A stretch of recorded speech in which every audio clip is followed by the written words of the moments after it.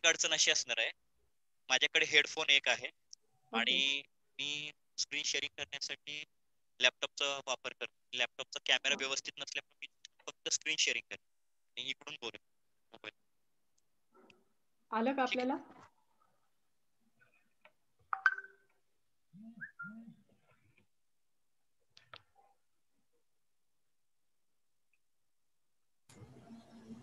Keshav. Sir hello मी आता म्यूटच्या याच्यावरून तुम्हाला दिसते बघा. केशव सर.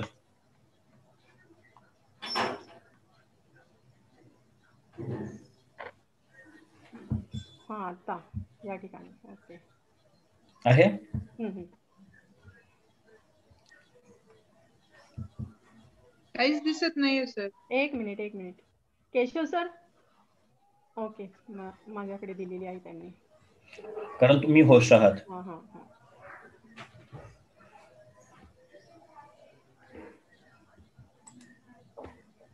ओके.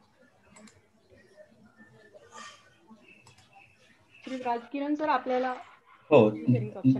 दिसते हो. ठीक आहे. परत एकदा सर्वांना नमस्कार. आजचं जे शे सेशन आपण एक तासासाठी जे घेणार आहोत ज्याच्यामध्ये ब्लॉग निर्मिती कशी करायची आणि का करायची आणि कशी कशा पद्धतीने करायची हे समजून घेणार आहात. गेल्या पाच सहा महिन्यापासून आपण कोरोनाच्या निमित्ताने वेगवेगळ्या गोष्टी शिकण्याचा प्रयत्न करतोय. कारण कोरोनाच्या संकट काळामध्ये आपल्याला एक संधी बनून आलेली आहे काहीतरी शिकण्याची. आणि त्याचं माध्यम आज आपल्याला तंत्रज्ञ शिक्षक दिशादर्शक शिक्षक या निमित्तानं आपल्या सगळ्यांना जोडण्याचा प्रयत्न करतोय. त्यातून आज आपण शिकून घेऊया की एकच मिनिट.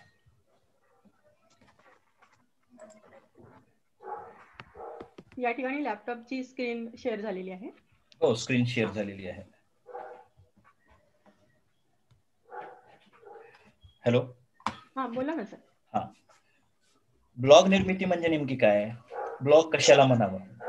तर सोप्या भाषेत सांगायचं झालं तर ब्लॉग म्हणजे छोटेखानी वेबसाईट आहे. आणि याला कोणत्याही प्रकारचं आपल्याला शुल्क देण्याची आवश्यकता नाही जे फ्रीमध्ये करू शकतो अशी वेबसाईट म्हणजे ब्लॉग परंतु हे करत असताना ब्लॉग निर्मितीसाठी आपल्याला कोणत्या कोणत्या वेबसाईट्स आपल्याला उपयोगी पडू शकतात? तर त्याच्यामध्ये ब्लॉगर डॉट कॉम आहे विक्स डॉट कॉम आहे. तर अशा ज्या काही वेबसाईट्स आहेत ज्या माध्यमातून आपण आपला ब्लॉग निर्मिती करू शकतो. त्याचबरोबर असंख्य दुसऱ्या पण कंपन्या आहेत पण मी आता सांगणार नाही. कारण आपल्याला जे सोपं वाटेल आणि उपयुक्त ठरेल असं माध्यम तुम्हाला सांगण्याचा मी प्रयत्न करतोय. आता बघा ब्लॉग निर्मिती करताना आपल्याला सगळ्यात महत्वाची कोणती गोष्ट आहे? तर आपलं स्वतःचं एक ईमेल आय डी असणं अपेक्षित आहे. आणि हे करत असताना तुम्ही प्रथमतः गुगल ओपन करायचंय. मी आता इथं गुगल ओपन करतोय.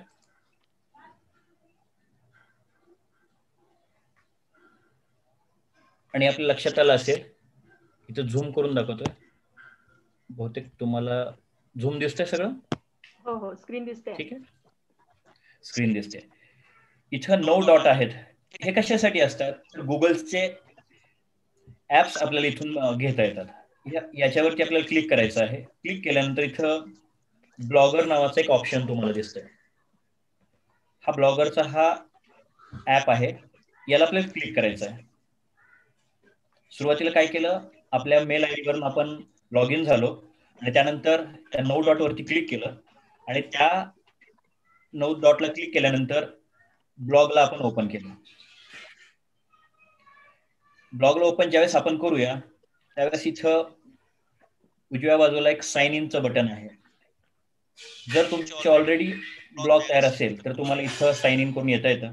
परंतु नव्यानं जर तुम्हाला एखादा ब्लॉग तयार करायचा असेल तर तुम्ही इथं क्रिएट अ ब्लॉग त्याला झूम करून दाखवतो. बघा याच्यावरती क्लिक करायचं आहे. ब्लॉग करण्यासाठी अवघ्या पाच मिनिटाचा वेळ पुरेसा आहे. रेश्मा मॅडम ते रेषा कशाचे आहेत बघा? हा तेच. कल्पना नाहीये. काय केशव सर? आता स्क्रीन ठीक आहे, हरकत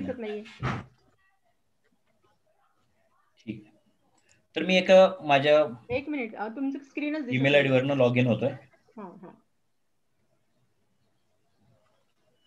तर लॉग इन झाल्यानंतर ऑलरेडी माझे जवळपास सात आठ ब्लॉग आहेत. इथं तुम्हाला दिसेल सुद्धा. स्क्रीन. आय थिंक स्क्रीन कोणालाच दिसत नसणार आहे. मॅम दिसते स्क्रीन. दिसते दिसते. मॅडम स्क्रीन दिसते मॅडम दिसत आहे स्क्रीन मॅडम कोणीतरी अॅन्युटेशन केलेलं आहे त्याच्यावरती. अनोटेशन काढून टाका मॅडम मला स्क्रीन दिसत नाही त्यात काहीच काढता येणार नाही मला. राजकिरण सर तुम्हालाच काढता येईल. तुमच्या स्क्रीन शेअरमध्ये खोड केलं रबरचं केलं ऑप्शन केलं ओके थँक्यू काढून टाकलेलं आहे. बघा.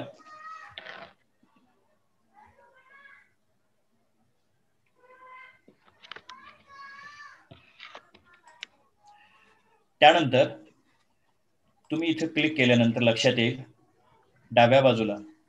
आता माझा एक ऑलरेडी सृजनशील शिक्षक डॉट ब्लॉगस्पॉट डॉट कॉम हा एक ब्लॉग आहे आणि इथे भरपूर सारे ब्लॉग तुम्हाला दिसत आहेत तर तुम्हाला एका मेल आय डी वरून कितीही तुमचे ब्लॉग तयार करता येतात. तर आता इथं नवीन मी ब्लॉग करायचा कसा. हे दाखवतोय. बघा ऑलरेडी इथे तुम्हाला दिसत आहेत सृजनशील शिक्षक ट्रेनिंग फ्रॉम होम डिजिटल ज्ञानरचनावाद शालेय गीत संस्कार सृजनशील मुख्याध्यापक असे खूप सारे ब्लॉग या माध्यमातून या मेल आय डीच्या माध्यमातून मी चालू केलेले आहेत आता नवीन ब्लॉग राजकिरण सर हा. राजकिरण सर एक मिनिट म्यूट करा. आवाज आवाज डबल येतोय. ओके एक डिव्हाइस म्यूट करा. Okay okay okay thank you आता येतो बरोबर? रेश्मा मॅडम आवाज येतोय आता? हा आवाज येतो आहे ओके हो येतोय सर. माझ्या लॅपटॉपचा आवाज असल्यामुळे ते डबल ऐकतो हा. ठीक आहे. तर आता सुरुवातीला आपल्याला या न्यू ब्लॉग या ऑप्शन वरती क्लिक करायचं. आता आपण सुरुवातीपासून काय पहिल्यांदा आपल्याला त्याचं टायटल देणं अपेक्षित. काय केलं मी परत एकदा दाखवतो. डाव्या बाजूला वरती इथं एक ॲरो दिसतोय. त्याच्यावरती तुमचा जर ब्लॉग असेल तर तिथं तुम्हाला ब्लॉगचं नाव दिसेल. पण ब्लॉग नसेल तर क्रिएट अ ब्लॉग नाव येईल किंवा न्यू ब्लॉग नावाचं ऑप्शन इथं दिसते तुम्हाला. तर याला मी थोडं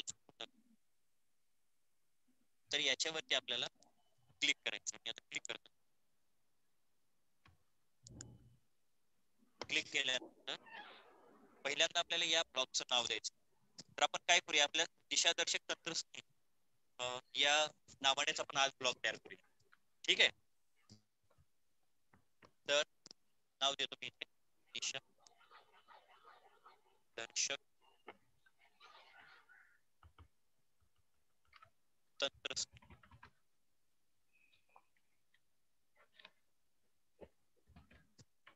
यानंतर इथे बाजूला खाली कॅन्सल आणि नेक्स्ट बटन आहे. इथे आपण क्लिक करायचं जेणेकरून आपण पुढे जाऊ. आता या ब्लॉगला नाव काय द्यायचं? आपण आपल्या मनाने नाव देऊ शकतो. आता मी फक्त दिशादर्शक एवढं नाव देऊ आणि पुढे एक्सटेन्शन तुम्हाला दिसतं इथे. त्या नावाच्या पुढे ऑटोमॅटिक काही शब्द आले. डॉट ब्लॉगस्पॉट डॉट कॉम तर याच्या अगोदर आपल्याला जे नाव द्यायचं आहे ते आपल्या ब्लॉगचा ऍड्रेस असतो. आता मी इथं दिशादर्शकचा देतो. दिशा दर्शक जर अवेलेबल असेल तर ते दाखवेल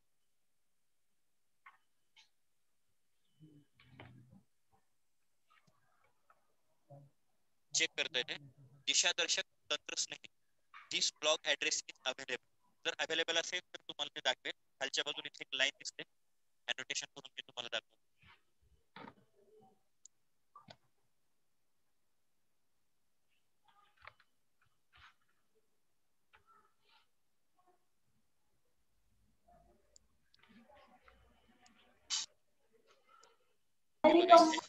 हे दिसतंय दिशादर्शक तंत्रस्नेही आणि त्याच्याखाली आहे.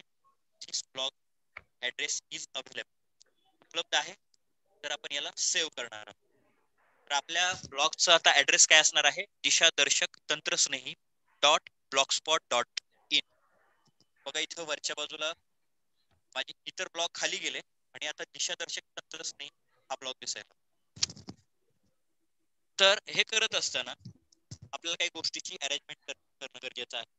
याला थोडं स्मॉल इथं तुम्हाला दिसतंय न्यू पोस्ट कुठली गोष्ट तुम्हाला इथे दाखवायची असेल तर त्याच्या संदर्भात आपल्याला पोस्ट करणं अपेक्षित आहे. पोस्ट आणि पेजेस हे दोन प्रकार इथं असतात. ते तुम्हाला कसे वापरायचे ते पण सांग. नमुन्यासाठी मी एक माझा ब्लॉग ओपन करून दाखवतो.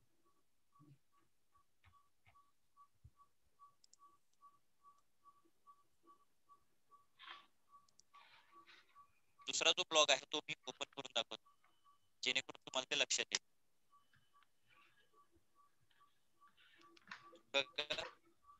पोस्ट आहे. या पोस्ट आपल्याला पाहता येणार आहे असं पाहिजे हा प्रिव्ह्यू आहे. तर अशा पद्धतीची पोस्ट दिसणार. मला जे काही बघायचं असेल तर तुम्ही अशा पद्धतीने बघू शकता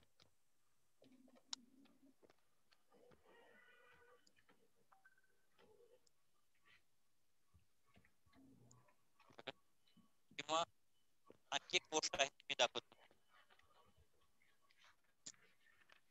पोस्ट कशी लिहावी कशी तयार करावी त्याच्यामध्ये कोणकोणत्या गोष्टी येणं अपेक्षित आहे हे पण तुम्हाला दिसत सजग पालकत्व व मुलांवरील संस्कार हा एक मी निबंध लिहिला होता एका राज्यस्तरीय निबंध स्पर्धेसाठी. आणि आपल्याला सांगायला आवडेल की या निबंधाला मला राज्यामध्ये प्रथम क्रमांक पारितोषिक जाहीर झालं. परंतु ते लॉकडाऊनच्या काळामध्ये तो कार्यक्रम आता सध्या नाही आहे परंतु इतरांना तो निबंध वाचता यावा. त्यात नेमकं काय मी दिलं होतं? माझे कसे अनुभव इथे शेअर केले होते? सगळं इथं मी टाकले तर अशा पद्धतीने आपण या सगळ्या गोष्टी काढू शकतो. ही झाली माझी पोस्ट आहे ही काय झाली माझी पोस्ट तर या पोस्टला आपण तयार कसं केलं? हे मी आता तुम्हाला दाखवणार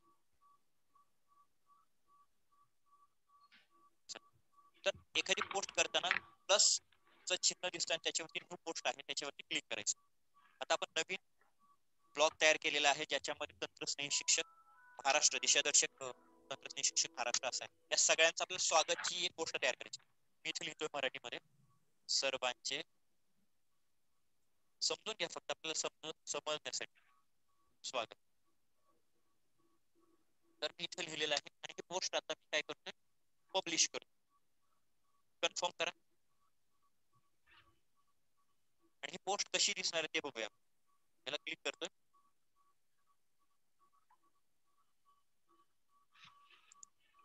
युट्यूबमध्ये तुम्हाला दिसेल. ब्लॉग वरती एक्झॅक्ट पोस्ट कशी दिसणार आहे. हा प्रिव्ह्यू आहे इथे बाजूला दिसतोय तर इथे दिशादर्शक तंत्रस्नेही आहे. आता इथं माझी प्रोफाईल दिसते कारण मी सृजनशील शिक्षक या माझ्या मेल आय ने लॉग इन झाल्यामुळे.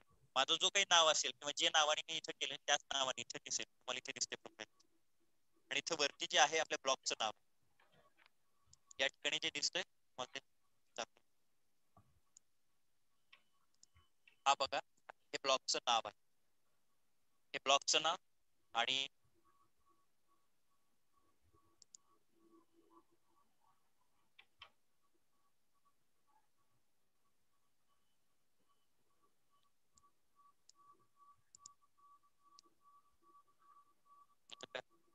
आहेत सुरुवातीला मी आता दाखवलं तसं हे ब्लॉगचं नाव आहे दिशादर्शक तंत्र. त्याचबरोबर आता आपण परत पाठीमागे जाऊया. हे करत असताना याचं लेआउट खूप महत्वाचं ते कुठं आहे? त्या सगळ्या आयकॉन्सची तुम्हाला थोडी माहिती देतो. सुरुवातीला पोस्ट म्हणजे काय? तर कोणतीही गोष्ट आपल्याला ब्लॉग वरती टाकायची असेल तर ती आपण पेज किंवा पोस्ट या दोन माध्यमातून टाकू शकतो. पोस्ट ज्या असतात त्या सगळ्या तुमच्या ब्लॉगच्या पेज वरती दिसत असतात पेज वरती सगळं हे दिसत असतं. म्हणजे स्क्रीन वरती डायरेक्ट दिसणारी गोष्ट म्हणजे पोस्ट आणि पेज जे आहेत त्याची लिंक द्यावी लागते. ती आपल्याला डायरेक्ट एखाद्या व्यक्तीनं तुम्हाला त्या ब्लॉग वरती भेट दिली तर ते पेज दिसत. पेज हे आतमध्ये असतं. त्याची लिंक देऊन आपल्याला ते पेज बाहेर काढावं लागतं. बाहेर जे असते सगळी पोस्ट असते. म्हणजे आता मी तुम्हाला नमुना दाखवला.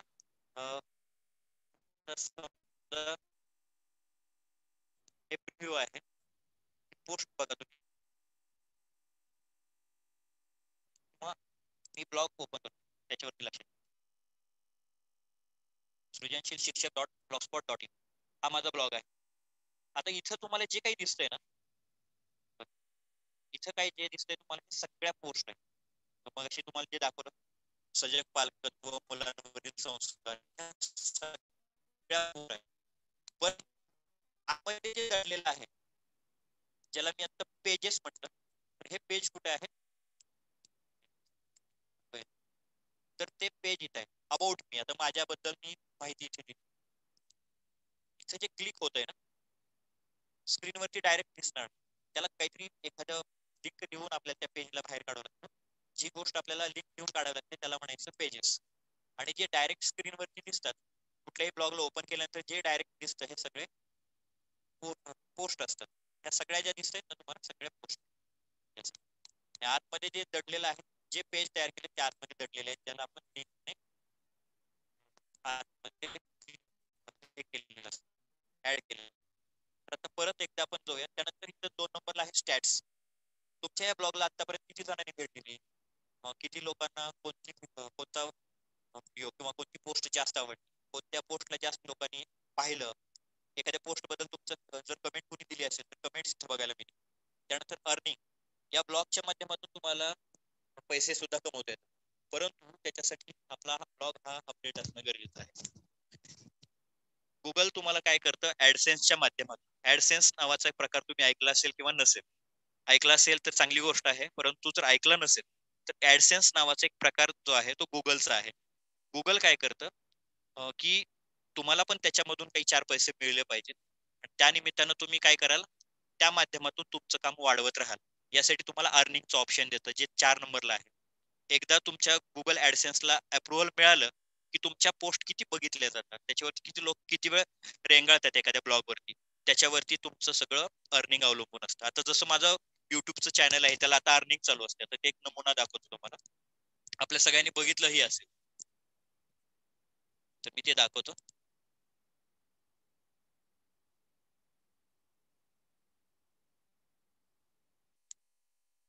एकच मिनिट. माझी एक वेबसाईट आहे आता आज सकाळी जी बातमी मॅडमला मी टाकलेली होती ती सृजनशील शिक्षक या संदर्भातली होती. इथं आता माझं एक चॅनल आहे ते त्या चॅनलवरती आता ह्या ऍड्स चालू आहे. त्या कशा चालू झाल्या त्याला काय करावं लागतं ते पण तुम्हाला सांगतो. कुठलंही चॅनल जर चालायचं असेल तर त्याला एक वर्षामध्ये त्याने किमान चार हजार चार हजार वॉच टाइम चार हजार तासांचा वॉच टाइम तुमच्या त्या युट्यूब चॅनलला येणं अपेक्षित आहे. म्हणजे चार हजार तास इतका वेळ ते बघितलं गेलं पाहिजे ते चॅनल जर ते बघितलं गेलं तर तुमच्या चॅनलचं एका गोष्टीला तुम्ही पात्र ठर दुसरी गोष्ट पात्रतेची आहे की तुमच्या याला एक हजार सबस्क्रायबर एक वर्षामध्ये तुम्ही कव्हर केलं कुठून पण. समजा आज अठ्ठावीस तारीख आहे. आजच्या पासून ते येत्या तीनशे पासष्ट दिवसामध्ये जर तुम्ही एक हजार सबस्क्रायबर आणि चार हजार तासांचा वॉच टाइम जर तुमच्या त्या युट्यूब चॅनलवरती मिळाला तर तुम्हाला युट्यूबकडून एक मेसेज येतो. आणि त्याच्यामध्ये तुम्ही युट्यूबचे पार्टनर होता. म्हणजे पार्टनर होऊन त्या माध्यमातून तुम्हाला अर्निंग करता येईल. आता तुम्ही इतरांच्या अनेक वेबसाईट वरती गेला असाल आता इथं हा- हे माझी माफ करा. हा माझा युट्यूबचा जो तुम्हाला इंटरफेस दिसतोय बघा. मी एक नमुना दाखवतोय. आता हे करत असताना तुम्हाला इथे ऍड्स दिसतात. कधी येतात कधी येत नाहीत. हे सगळं आता बघा इथे ऍड लागलेली आहे. जवळपास चव्वेचाळीस सेकंदाची ऍड आहे. दिसते तुम्हाला सगळ्यांना? तर ही ऍड आहे ना याच्यावरून आपल्याला अर्निंग करता येत परंतु तुम्ही म्हणाल लगेच मला हे झालं पाहिजे किती पैसे मिळतात? तर अगदी खूप शून्य पॉईंट शून्य पैशावरती सगळं काम चालू असतं. म्हणजे ते किती लोक बघतात किती लोकांपर्यंत ती जाती ऍड त्या ऍडला लोक न स्किप करता किती वेळ बघतात? याच्यावरती तुमचं अर्निंग असतं. परंतु ह्या सगळ्या गोष्टी पुढच्या आहेत. सुरुवातीला आपल्या युट्यूब चॅनल करणं अपेक्षित आहे. आणि त्या- त्याच्या माध्यमातून आपल्याला आपला कंटेंट तिथं डेव्हलप करून टाकणं गरजेचं आहे. आता इथं अनेक लोक इथं ऍडला स्किप करतात. जर अशी ऍड स्किप केली तर तुम्हाला त्याचं अर्निंग होत नाही. तर अशा काही गोष्टी आहेत ज्या माध्यमातून तुम्हाला अर्निंग करता येते. तर आता हे आपल्या विषयाच्या पलीकडचं आहे. आज आपण ब्लॉगचा अभ्यास करतोय. परंतु तुम्हाला जाता जात हे पण माहीत असावं यासाठी हे सांगितलं. तर हा ब्लॉग आहे. आणि इथं ब्लॉगचं सगळे इंटरफेस दिसतंय तुम्हाला. आतमधली सगळी गोष्ट आहे. आपण आता याच्यामध्ये आता ड्राफ्टमध्ये आहोत की आपला हा जो ब्लॉग आहे तो कसा सजवायचा यासाठी. पहिलं काम केलं आपण आपली मेल आय डीनं लॉग इन केलं. लॉग इन केल्यानंतर इथं नऊ डॉट जे आहेत त्याच्यावरती आपण क्लिक केलं. आणि तिथून ब्लॉगरचा जो ऑप्शन आहे हा निवडला. निवडून आपला एक ब्लॉग तयार केला. त्याला नाव दिलं दिशादर्शक तंत्रस्नेही त्यातून पहिलं काम केलं आपण पहिली पोस्ट तयार केली या प्लस वरती क्लिक करून. त्यानंतर मी बॅकला येतो. स्टॅट्स काय आहे? तर तुमचं एकंदर चॅनल किंवा ही ब्लॉग कसा चालतोय? किती लोक त्याला भेट देतात? हे सगळं इथं बघायला मिळतं. कमेंट्समध्ये जर एखाद्या पोस्टबद्दल एखाद्या पेजबद्दल जर कमेंट्स असेल तर तुम्हाला इथं कमेंट्स बघायला मिळते. अर्निंगमध्ये आता इथं क्लिक करतो. आता अर्निंग काय दिसते का? तुम्ही शून्य दिसेल. बघा इथं सांगितलंय कॉन्टॅक्ट सॉरी कनेक्ट ऍडसेन्स ऍडसेन्सला तुमचं हे चॅनल जे आहे तुमचं ब्लॉग जो आहे तो ऍड करावा लागतो. त्यानंतरच हे सगळं करतात. त्यानंतर पुढचा मुद्दा आहे पाचवा मुद्दा पेजेस आता मी तुम्हाला जसं सांगितलं पेजेस हे स्क्रीनवरती नसतात. पेजेस हे स्क्रीनवरती नसतात.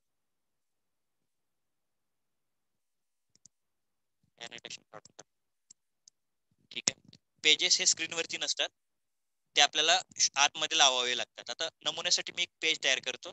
बघा. इथं पण आपण स्वागतच्या संदर्भात एक गोष्ट आता कुठले पेज करत असताना प्लसचं इथं चिन्ह दिसतंय त्याच्यावरती क्लिक करायचं आहे. आणि न्यू पेज बनायचं. इथं पण मी आता काहीतरी कळावून असं टाकतोय आणि पब्लिश करतोय. समजा याला तुम्हाला एडिट करायचं असेल तर ते सुद्धा करता येतं. कसं करायचं ते पण सांग पहिल्यांदा ह्या पेजला पब्लिश करूया आपण आणि कन्फर्म करूया. कन्फर्म केल्यानंतर हे पेज कसं दिसणार आहे? इथं तुम्ही व्ह्यू करू शकता. तर असं दिसणार आहे. आता मी काहीच लिहिलं नव्हतं. अवघं हेच लिहिलं होतं. तर अशा पद्धतीने दिसणार आहे. परंतु हे आपल्या ब्लॉग वरती दिसतं का? तर नाही दिसत. बघा. परत एकदा जाऊया आपल्या. आपल्या ब्लॉग वरती जाऊया.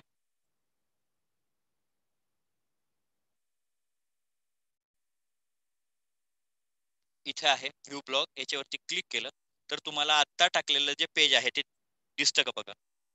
मी मगाशी जी पोस्ट टाकली ती मात्र आहे इथे. पेज मात्र दिसत नाही. का? कारण ते पेज स्क्रीनवरती येत नाही. मग अशा पेजला स्क्रीनवरती कसं आणायचं? तर त्याच्यासाठी लिंक महत्त्वाचे जर तुम्ही त्या लिंक केल्या तर तुम्हाला ते त्याच्यामध्ये ऍड करता येत आता इथं काय दिसतंय बघा. मी माझा आणखी एक ब्लॉग ओपन करून दाखवतो आणि त्याच्यावरती कसे पेज तयार केले कसे टाकले ते तुमच्या लक्षात येईल. पेजेस हे सगळे माझे पेजेस आहेत.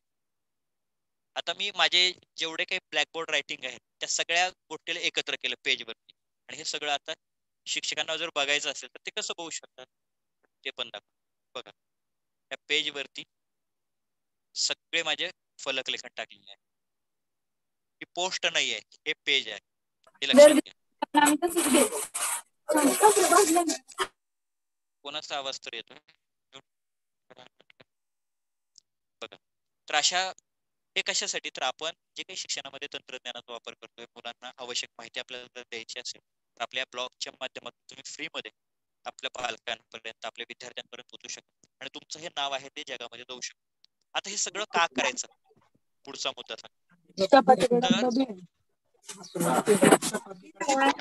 का करायचं? आवाज आवाज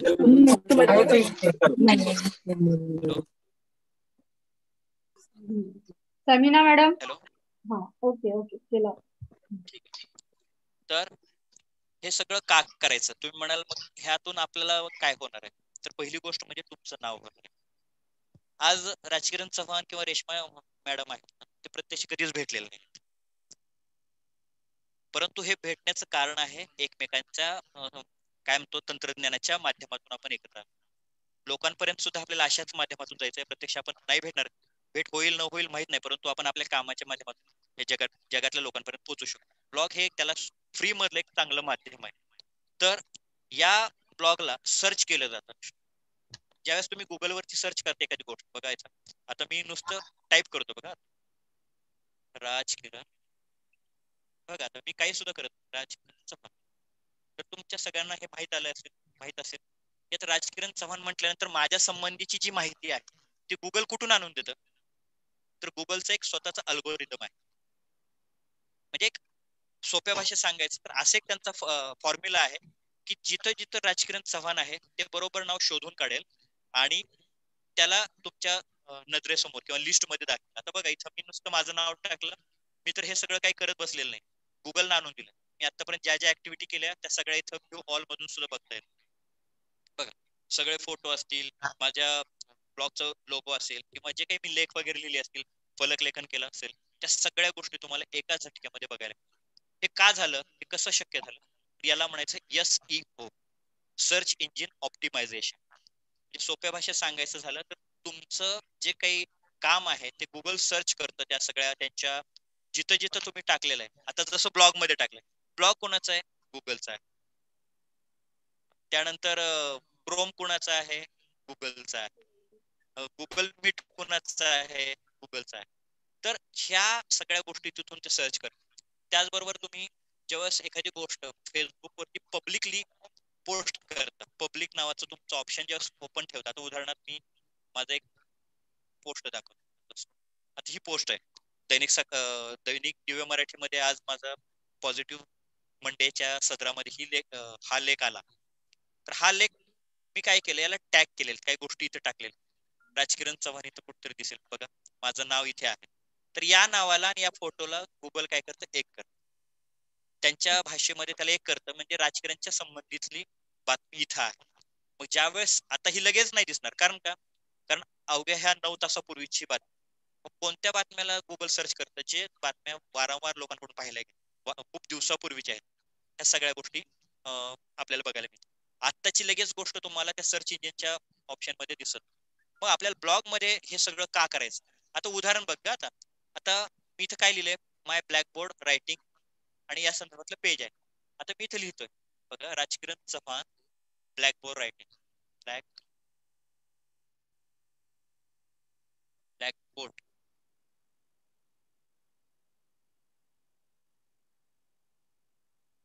writing मी आता फक्त एवढं लिहिल्यानंतर गुगल कसं सर्च करतो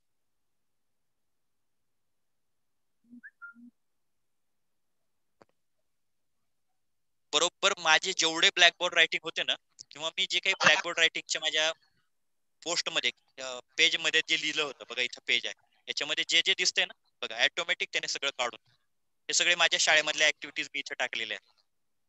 त्यामुळे फायदा हा होतो माझी शाळा इतर लोकांपर्यंत पोहोचते. माझ्या मुलांना शाळेतल्या वेगवेगळ्या ऍक्टिव्हिटीज त्यांच्या पालकांना किंवा त्यांच्या मित्रमंडळींना दाखवता येतं. आणि आपलं काम आणि आपल्या शाळेचं उपक्रम इतर लोकांपर्यंत पोहोचतात ज्यामुळं तुमचं काम घर बसल्या इतर लोकांच्या मोबाईलमध्ये बघता येऊ शकतं. आणि याला आपल्याला वेगळं कुठलं काय करायचंय का? नाही. फक्त ब्लॉग वरती तुम्ही हे सगळं टाकू शकता. म्हणून आपल्याला हा ब्लॉग तयार करायचा. आता बघा आता इथे तुम्हाला दाखवतो. हे सगळे ब्लॅकबोर्ड रायटिंग माझ्या या ब्लॉग मधले शोधून दिले. हे सगळे माझ्या ब्लॉग वरती आहे हे जे काही तुम्हाला दिसतंय ना स्क्रीनवर सगळ्या गोष्टी माझ्या ब्लॉग वरती ऑलरेडी आहेत. त्याला त्यांनी शोधले आपण क्लिक करून बघूया. खरंच माझ्या ब्लॉग वरती आहे. आता उदाहरणार्थ मी हे गणपतीच्या काळामध्ये स्केच काढलं होतं. याला क्लिक करतो बघा. वरती बघा इथे. हा त्या ब्लॉगच्या त्या पोस्टचा ऍड्रेस आहे. किंवा ती लिंक आहे बघ. H T T P S Srujanshil Shikshak dot Blogspot dot com हे जे आहे ना ह्या नावावरती ह्या पेजच्या लिंक वरती मी ह्या सगळ्याला टॅग केलं. मग ते टॅग कसं करणं हे सुद्धा मी तुम्हाला शिकवतो. तर परत येऊया आपण डॅशबोर्ड वर ब्लॉगर वरती आलो. हा डॅशबोर्ड आहे आपला. आणि हे करत असताना आपल्याला काय काय करायचं ते बघूया. आता इथं पहिल्यांदा लेआउट आपला ब्लॉग दिसला कसा पाहिजे? त्यासाठी काही थीम आपल्याला घेता येतात का? तर त्या थीम आपण सोप्यामध्ये अगोदर निवडूया. जेणेकरून आपल्याला लक्षात येईल. सोपी थीम मी दाखवतो इथे. एखाद्या गोष्टीचे टॅप्स कसे द्यायचे? ते सुद्धा मी आज सांग ठीक आहे सिंपल घेतो सिंपल ब्लॉग तर हे अप्लाय करतो अप्लाय करून आत्ताचा जो आहे ना तो ब्लॉग आपला या टाइपमध्ये दिसायला लागेल. आपला जो ब्लॉग असणार आहे तो या टाइपमध्ये दिसेल. बघूया आता दिसतोय का? मी अप्लाय तर केलंय सक्सेसफुली दाखवतोय. बघूया आता व्ह्यू ब्लॉग करतो. मग अशी स्क्रीन जाईल आणि आता जी सिलेक्ट केली आहे दिसतंय तुम्हाला? वरती दिशादर्शक तंत्रस्नेह हे आपल्या ब्लॉगचं नाव आलं. त्यानंतर पहिली पोस्ट टाकली होती सर्वांचे स्वागत आहे. सगळं तुम्हाला इथे दिसतंय. आज सोमवार आहे अठ्ठावीस तारीख आहे सर्वांचे स्वागत ही आहे. आणि या संदर्भात कुणाला काही कमेंट द्यायची असेल तर तुम्ही इथं पोस्ट करू शकता. बघा इथं नो कमेंट्स मी इथं कमेंट पण लिहू शकतो. मेक्स गुड म्हणून असं इथे कमेंट आणि एंटर मारतो किंवा तुम्ही पब्लिश करू शकता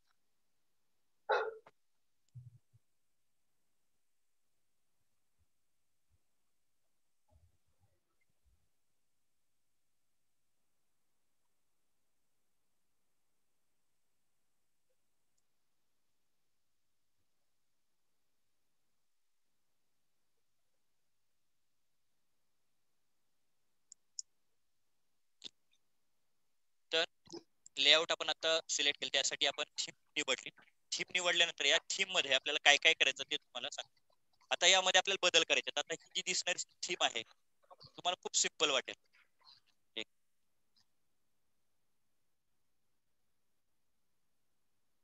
या थीमला आपण बघूया. खूप सिंपल वाटते. याच्यामध्ये आपल्याला इथे कुठेही टॅब नाही आहेत म्हणजे हो किंवा तुमच्या काही पेजेसला इथे ऍड करायचं असेल तिथे काही दिसतं खूप सिंपलमध्ये आहे. आतापर्यंत आपण फक्त एकच पोस्ट लिहिली आहे त्यामुळे एवढंच दिसतंय. तर याला कसं वाढवायचं? त्याच्यामध्ये बदल कसे करायचे? तर ते लेआउटमध्ये करायचे. इथे लेआउटला क्लिक केलं. आणि क्लिक केल्यानंतर हा हेडर आहे. हेडर म्हणजे काय? तर तुमचं जे नाव आहे ते इथं तुम्हाला घेता येतं निवडायला येईल तुमचं नाव तुम्ही बदलू शकता. ते इंग्लिशमध्ये केलं. त्याच्या संदर्भात लोगो असेल तर तुम्ही लोगो सुद्धा टाकू शकता. त्याच्या संदर्भात काही डिस्क्रिप्शन तुम्हाला लिहायचं असेल तर तेही टाकू शकता. एखादी इमेज लोगो पण टाकायचे असेल तर इथून तुम्ही घेऊ शकता. तर मी एक नमुन्यासाठी इथं आहे का बघतो?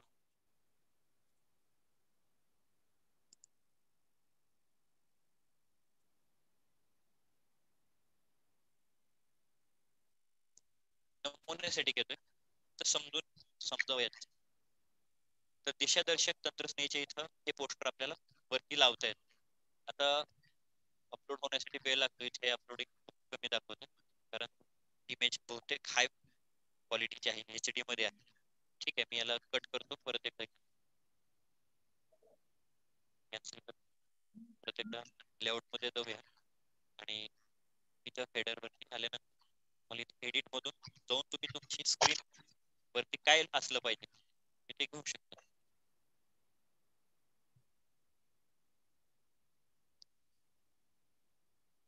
त्याची पीएनजी फाईल घ्यायची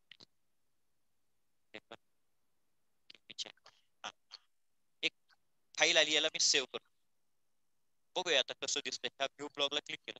आपला ब्लॉग आता बघा. दिसला? दिशादर्शक तंत्रज्ञाच्या वरती आपण हे लावू शकतो. तुम्ही सुद्धा तुमचं स्वतःच नाव किंवा शाळेचं ज्या नावात तुम्ही ब्लॉग करणार आहात त्याच्या संदर्भातलं पोस्टर तुम्ही सोळा बाय नऊचं टाकू शकता किंवा त्याच्यापेक्षा जास्त याच्यामध्ये तुम्ही टाकू शकता. आणि त्या पद्धतीने तुम्हाला इथं टाकतो. आता इथं हे करत असताना त्या पुढे गेलेल्या आहे म्हणजे त्याची जागा सोडून पुढे गेले. तर ते कसं त्याला दुरुस्त कसं करायचं? ते दाखवतो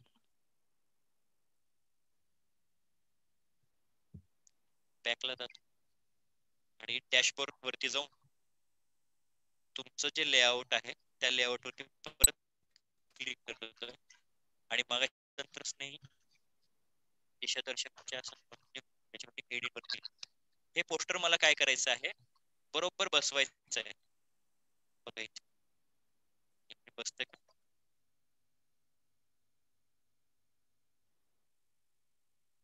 ब्लॉगला मी क्लिक केला. आता बघा. मगाशी ते त्या चौकटीच्या बाहेर जात होतो. सोळा बाय नऊच्या बाहेर जात होतो किंवा त्यापेक्षा जो त्याचा रेशो आहे त्याला आवश्यक. त्या रेशोच्या बाहेर जात होतो. आता मात्र बरोबर त्याने ऍडजस्ट करून परंतु इथं तुमचं नाव मात्र दिसत ते नाव बॅक लागेल हे नाव आणायचं कसं? तर तुम्ही या चित्रावरती जर तुमच्या ब्लॉगच्या संदर्भातलं नाव जर टाईप करून घेतलं आणि ऍज अ इमेज म्हणून तयार केली तर तुम्हाला त्या स्क्रीनवरती हे आणता येऊ शकतो. आता हे झालं हेडर कसं वापरायचं? या संदर्भात पुढे जाऊया आपण. आता क्रॉस कॉलम क्रॉस कॉलम म्हणजे काय? आडवे येणारे जे कॉलम आहे त्याला आपण क्रॉस कॉलम म्हणतो. तिथं ऍड गॅझेटला आपल्याला क्लिक करायचं. ऍड गॅझेटला क्लिक केल्यानंतर इथे वेगवेगळे गॅझेट तुम्हाला बघायला मिळतात म्हणजे तुम्हाला लागणारे काही गोष्टी आहेत. जसं आपण एखादी गोष्ट आता चित्र काढायचं म्हटल्यानंतर आपल्याला काही काही टूल्स लागतात. जसं पेन्सिल लागते पट्टी लागते कोड रबर लागते कलर्स लागतात. तसं या ब्लॉग वरती आपल्याला काम करण्यासाठी हे टूल लागणार आहेत हे गॅझेट लागणार आता मी काय करणार आहे यासाठी लिंक लिस्ट नावाचा ऑप्शन निवडणार आहे. बघा लिंक लिस्ट. आणि हे लिंक लिस्टला इथं क्लिक करा क्लिक केल्यानंतर याला आपण काय म्हणूया?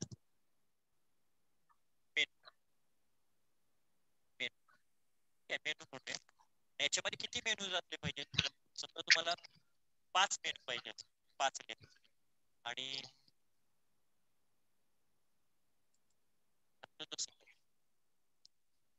पेज तयार केलं होतं. त्या पेजच्या संदर्भात त्याला नावच म्हणतात हे फक्त समजण्यासाठी तुम्ही कोणतंही नाव हॅलो? हो.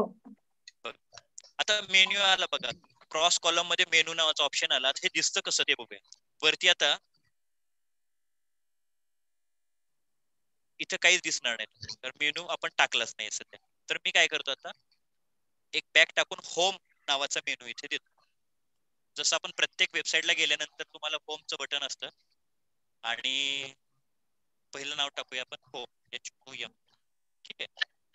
आणि याला जे डॅशबोर्ड देणार आपण ते लिंक कॉपी करायचे जे कुठं जरी गेला तरी तुम्हाला मेनू यायचं असेल किंवा होम यायचं असेल तर कसं यायचं? आता परत एकदा बघा काय केलं? क्रॉस कॉलम वरती गेलो. एडिट वरती मेनूचं ऑप्शन आहे. त्याच्यावरती गेलो एडिट केलं. एडिट केल्यानंतर होम नावाचा आपण टॅब तयार केलेला आहे. त्या टॅबला आता मी काय करतोय? लिंक देतोय. बघा. इथं तुम्हाला अॅनोटेशन करून दाखवतो.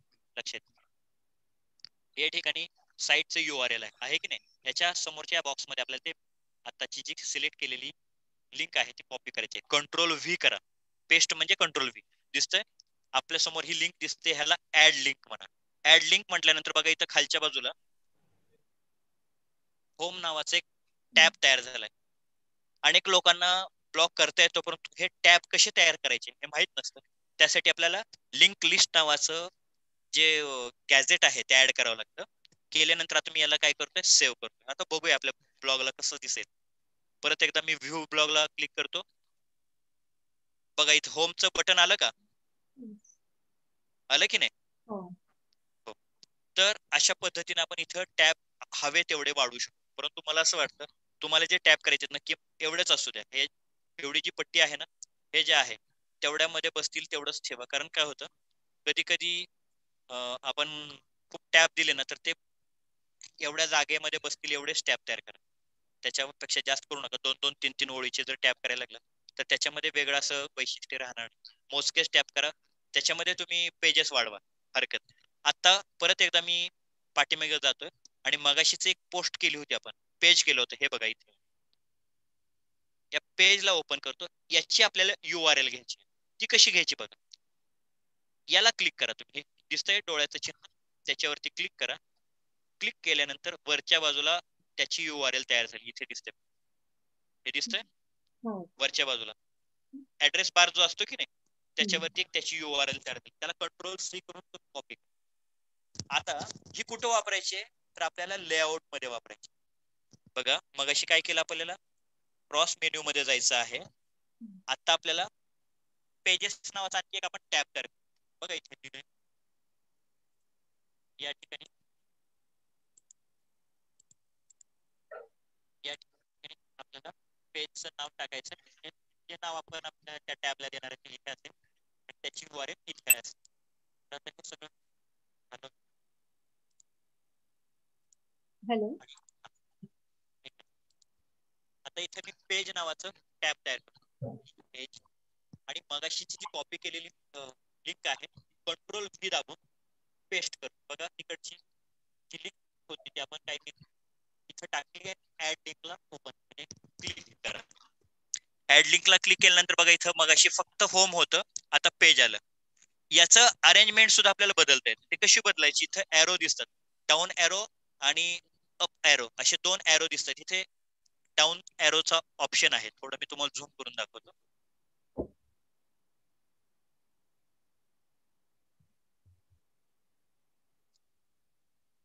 बघा इथं थोडं झूम करून दाखवल्यानंतर ह्या पेजला मला खाली घ्यायचं. होमचं जे बटन आहे ते सुरुवातीला पाहिजे. तर मी या पेजला हलकं टच केलं की ऑटोमॅटिक खाली आलं. आता याला सेव्ह करा. तर आपण परत एकदा आपल्या ब्लॉग वरती जाऊया आणि बघूया कसा दिसतोय ब्लॉग इथे मी व्ह्यू ब्लॉगला क्लिक करतो बघा आता होमच्या बाजूला तुम्हाला आणखी एक बटन आलेलं दिसेल. दिसतं होम आणि पेज म्हणजे कोणताही व्यक्ती ज्यावेळेस तुमच्या ब्लॉग वरती येईल ना तो अशा पद्धतीनं टॅब चालू करेल. आता मी प्ले पेजला ज्यावेळेस क्लिक करेन मग अशी कच्ची तयार केलेली एक पोस्ट आपण होती. पेज होतं ते ओपन होईल बघ. क्लिक करतो बघूया काय दिसतंय. बघा दिसतं? या अशीच काहीतरी लिहिलेलं मी होतं. तर अशा पद्धतीने आपल्याला पोस्ट आणि पेज असं याच्यामध्ये ऍड करता येईल आता हे सगळं करत असताना तुमच्या लक्षात आलं असेल की अनेक वेळा फोटो पण टाकले जातात. ते कसे टाकायचे? त्यांना कशा पद्धतीनं लिंक करायचं? आता ते बघूया. आता मी या सर्वांचे स्वागत मध्ये काय करतो? एक पोस्ट तयार करतो. या पोस्टलाच मी बघा. सर्वांचे स्वागत. याला मला एडिट करायचं आहे मी हलकं याला टच करतो. टच केल्यानंतर ते पेज ओपन झालं. ओपन झाल्यानंतर इथं वेगवेगळे ऑप्शन्स तुम्हाला दिसत आहेत इथं काही लिहायचं असेल तर आहे. अंडू रिडू करायचं असेल तर ते आहे. कोणता फॉर फॉन्ट वापरायचा आहे किती साईज ठेवायची? आहे बोल्ड करायचं काय? त्याला रंग कोणता द्यायचा? आहे सगळे तुम्हाला इथे वेगवेगळे तुम्हाला ऑप्शन्स बघायला मिळतात. आणि इथं इन्सर्ट इमेज नावाचा ऑप्शन आहे. मी आता नमुन्यासाठी एक हाताचं चिन्ह असलेलं म्हणजे दोन हात जोडलेलं एक इमेज मला इथं निवडायची ती कशी निवडणार? या प्लसला क्लिक करा. फोटोज मग ते कुठून घ्यायचे शोधूया आपण. आपल्या कॉम्प्युटरमध्ये असेल तर ठीक आहे. बघूया कॉम्प्युटरमध्ये आहे का? तर असेल तर नमुन्यासाठी मी घेतो. फक्त समजण्यासाठी तुम्ही याला एक हे समजू नका. फक्त समजण्यासाठी टाक. आता मला जे दिसते माझ्याकडे जे सापडले उपलब्ध आहे मी इथे टाकतोय. बघा. एक पोस्टर मी तयार केलं होतं त्याला मी इथं सिलेक्ट करतो. बघा सर्वांचे स्वागत आणि हे पोस्टर टाकले. तुम्हाला हवी तेवढी याची साईज कमी जास्त करता येते. ती कशी करायची? इथं बाजूला जे पेन आहे त्याच्यावरती क्लिक केल्यानंतर माफ करा. या ठिकाणी या ठिकाणी. त्याची साईज किती ठेवायची? एक्स्ट्रा लार्ज ओरिजिनल इथे वेगवेगळे प्रकार तुम्हाला करता येतात. दाखवतो मी काय करतो? एक्स्ट्रा लार्ज ठेवतो. बघ. ऑटोमॅटिक त्याने काय केलं की साईज घेतली. आता हे कसं दिसतं ते पण बघूया. ते प्रिव्ह्यू मध्ये जाऊया. आणि आपल्या लक्षात येईल की कशा पद्धतीने बघा दिसतोय? सर्वांचे स्वागत आणि हे पोस्टर आपण लावलं. कधी कधी तुम्ही असंही बघितलं असेल एखाद्या पोस्टरला क्लिक करा. क्लिक केल्यानंतर एखादी ऑप्शन कशी ओपन करायची? आता उदाहरण असं समजूया. या संदर्भात मी एक व्हिडिओ तयार केला होता. तर हा व्हिडिओ तुम्हाला बघायचा आहे. तर या पोस्टरला क्लिक करा. तुम्हाला व्हिडिओ बघता येईल. हे जर मला सांगायचं असेल तर ते कसं करीन? त्याच्यासाठी हा त्याला हायपर लिंक देणार अगदी बरोबर.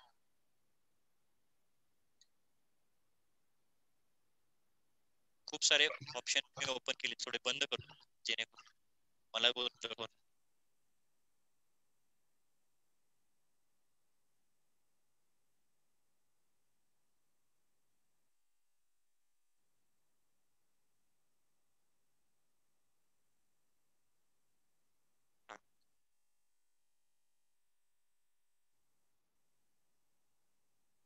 इथे आलो. आता याला हायपरलिंक कशी द्यायची? कोणत्याही गोष्टीला क्लिक केल्यानंतर नवीन एखादी गोष्ट ओपन करायची असेल तर त्याला पहिल्यांदा आपल्याला सुरुवातीला त्या पोस्टला किंवा त्या फोटोला आपल्याला क्लिक करावं लागतं. क्लिक केल्यानंतर इथं बाजूला नीट लक्ष द्या. आता इथं सगळ्यात महत्त्वाचे याला ज्यावेळेस तुम्हाला क्लिक करायचं आहे त्यावेळेस इथं बाजूला एक ऑप्शन दिसतो थोडं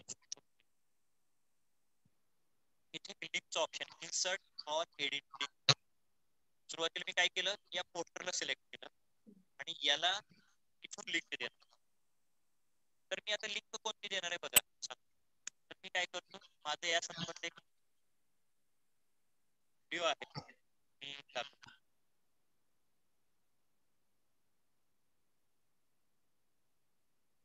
ठीक आहे मी व्ह्यूचं लिंक कशी द्यायची ते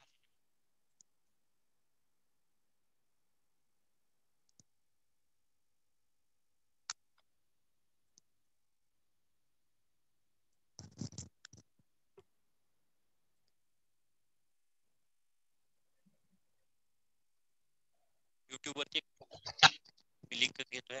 ती इथे टाकतो.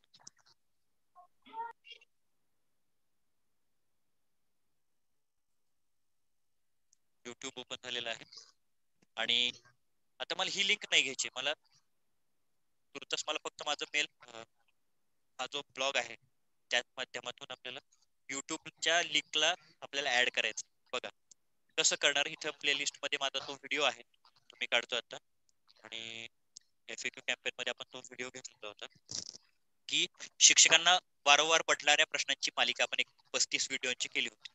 त्याच्यामध्ये इथं आहे बघा. कॅलिग्राफी कशी करावी? त्याचं डिजिटल पोस्टर कसे बनवावं?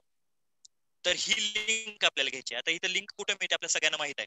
शेअरला ज्यावेळेस आपण ओपन किंवा क्लिक करतो त्यानंतर इथं एक कॉपीचं एक ऑप्शन येतं.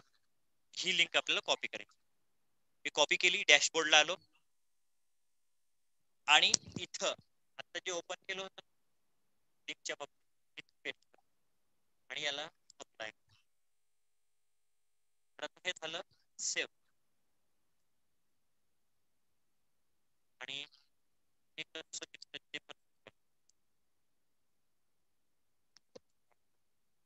आता प्रिव्ह्यू बघूया. प्रिव्ह्यू झालेला आहे.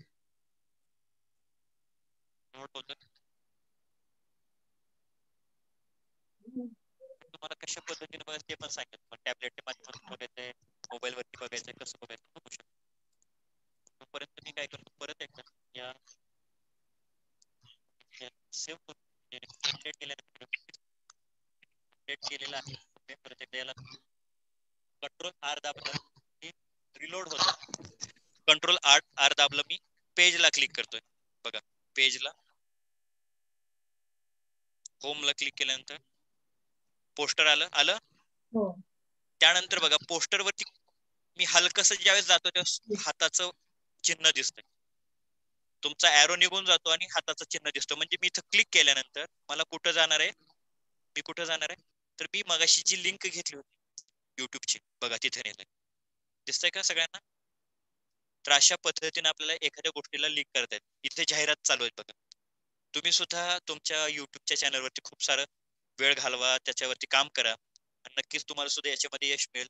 चार हजार तासांचा जो वॉच टाइम आहे तर जर तुम्ही एका वर्षामध्ये पूर्ण करू शकला तुमच्या मित्रांवर कडे तुम्ही हे सगळं शेअर करण्याने किंवा वेगवेगळ्या ठिकाणी शेअर करण्याने तुमची पोस्ट जितकी दर्जेदार असेल तितकं त्याचा व्ह्यू जो आहे तो जास्त वेळ मिळणार आहे. त्याचे काउंट जास्त असतील व्ह्यू काउंट जास्त असेल त्याचं त्याच्यावरती बघण्याचा जो स्पेंड केला जाणार टाइम आहे तो सुद्धा आपल्याला जास्त देता येणार. अशा पद्धतीने आपण इथे करू शकतो. आता मी जसं सांगितलं ह्या पोर्टरला आपण लिंकमध्ये कधी कधी असं असतं की आपल्या या याच्यामध्ये डायरेक्ट चॅनलचं बॉक्स द्यायचं आपल्याला. कधी कधी आपण बघितलंही असेल की डायरेक्ट तिथं आपल्याला युट्यूबचं बॉक्सच द्यायचा. आहे तर तो कसा द्यायचा? तर त्याच्यासाठी तुम्हाला सांगतो. याच्यात काही गोष्टी आपल्याला करता येतात. बघ. आता ते कशा करायच्या? शेअरमध्ये जायचं. आणि एम्बेल्ड नावाचं ऑप्शन असतं. काय? बघा एम्बेड इथं दिसते पहिलं ऑप्शन याला झूम करून दाखवतो.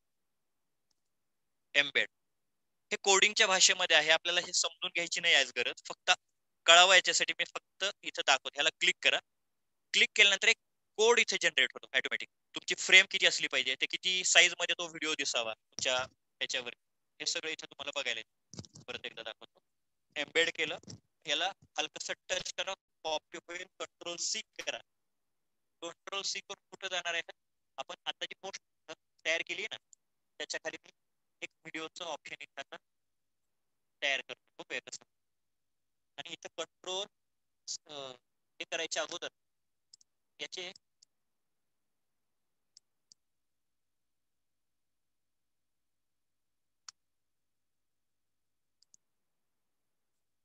इथं तुम्ही जी पोस्ट आहे ती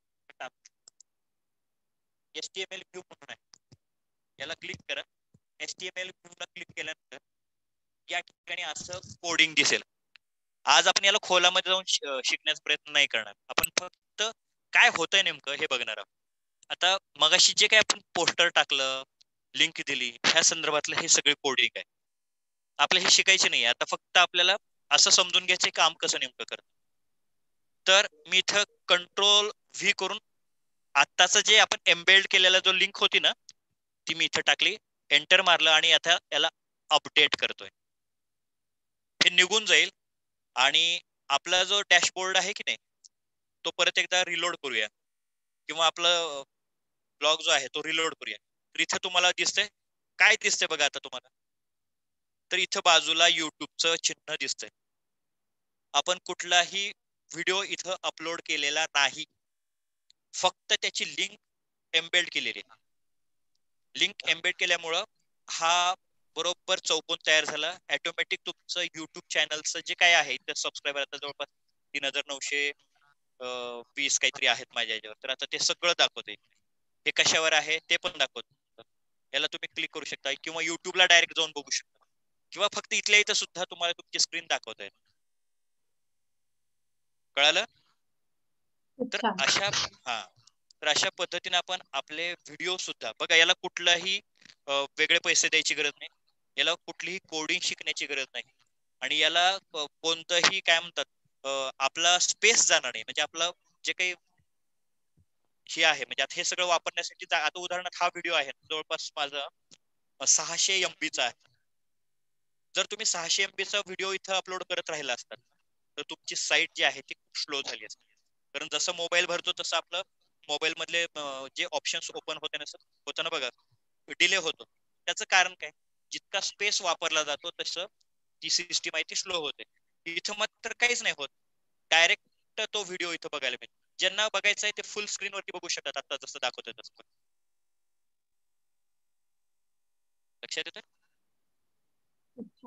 किंवा इथं झूम आउट करून तुम्ही छोटी स्क्रीन करू शकता. डायरेक्ट युट्यूबला जाऊ शकता. किती तुम्हाला स्क्रोल करायचंय पुढे ढकलायचंय तर ते ते सगळं करतात. ह्या सगळ्या गोष्टी आपण कशामध्ये केल्या? तर आपल्या पोस्टमध्ये केल्या. कशामध्ये केल्या? पोस्टमध्ये आणि ज्या स्क्रीनवरती दिसणार आहे. आता हे थोडं खाली घेतोय मध्येच येतं तुमच्यासाठी. आणि इथं जाणार आहे आणि इथं क्लिक करून परत कंपोज व्ह्यू वरती जाणार आहे. कंपोज व्ह्यू वरती गेल्यानंतर हे सगळे कोड निघून जातील. H T M L language इथून निघून जाईल आणि सिंपल तुम्हाला मगाशी जे दिसत होतं ना ते दिसायला लागेल. अशा पद्धती. म्हणजे तुम्ही काय करू शकता? पोस्टमध्ये तुमचं पोस्टर टाकू शकता. एखादी पोस्ट तुम्हाला काही मत व्यक्त व्यक्त करायचं असेल. जसं आता मी माझे आतापर्यंत आलेले जे लेख होते ना ते सगळे माझ्या ब्लॉग वरती टाकलेले आहे मी ते पण दाखवतो. याला हलवतो आणि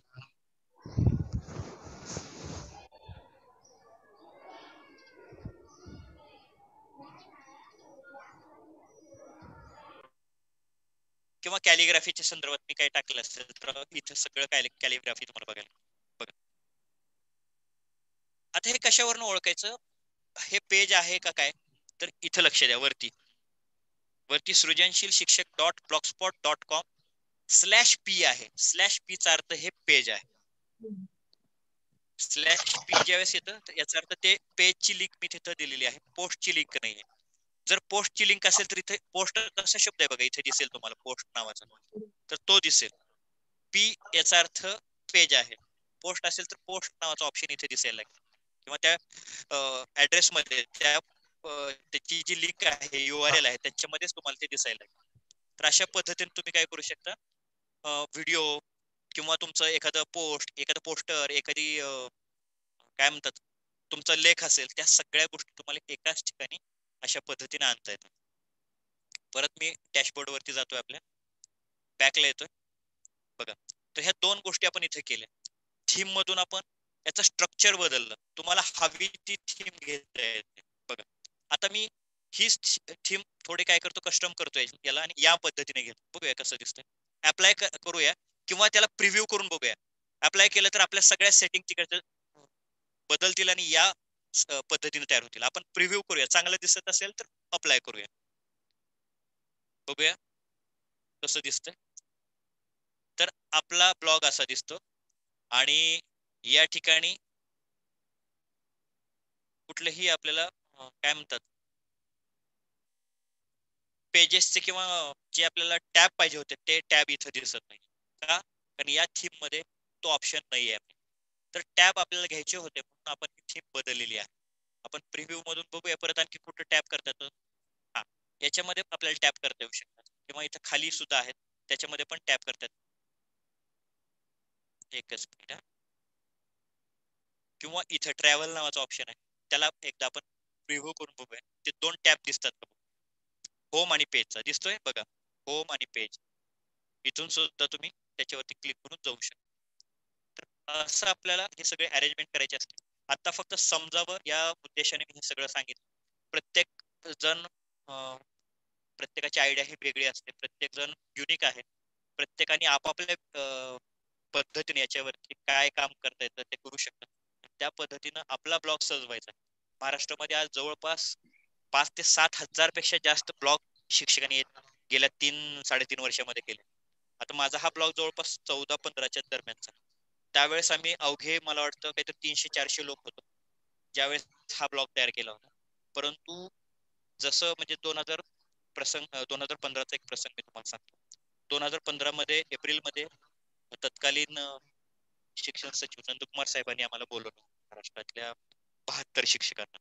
आणि त्यांनी आम्हाला एक असं आवाहन केलं होतं की तुम्हाला तंत्रज्ञान अवगत आहे तर त्याचा संपूर्ण महाराष्ट्रासाठी कसा उपयोग करता येऊ शकतो? तर आम्ही आमचे वेगवेगळे आयडियाज तिथे दिले होते आम्ही सांगितलं होतं वेबसाईट करता येईल ब्लॉग करता येईल युट्यूब चॅनल करता येईल.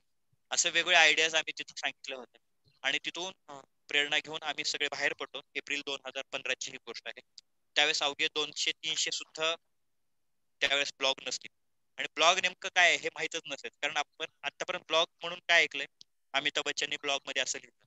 किंवा एखाद्या अमुक तमुक हिरोईनने त्याच्या ब्लॉग वरती असं लिहिलं. हेच ऐकलं होतं. ब्लॉग म्हणजे कोणीतरी लिहिण्याची डायरी असं समजून त्याचा वापर होता.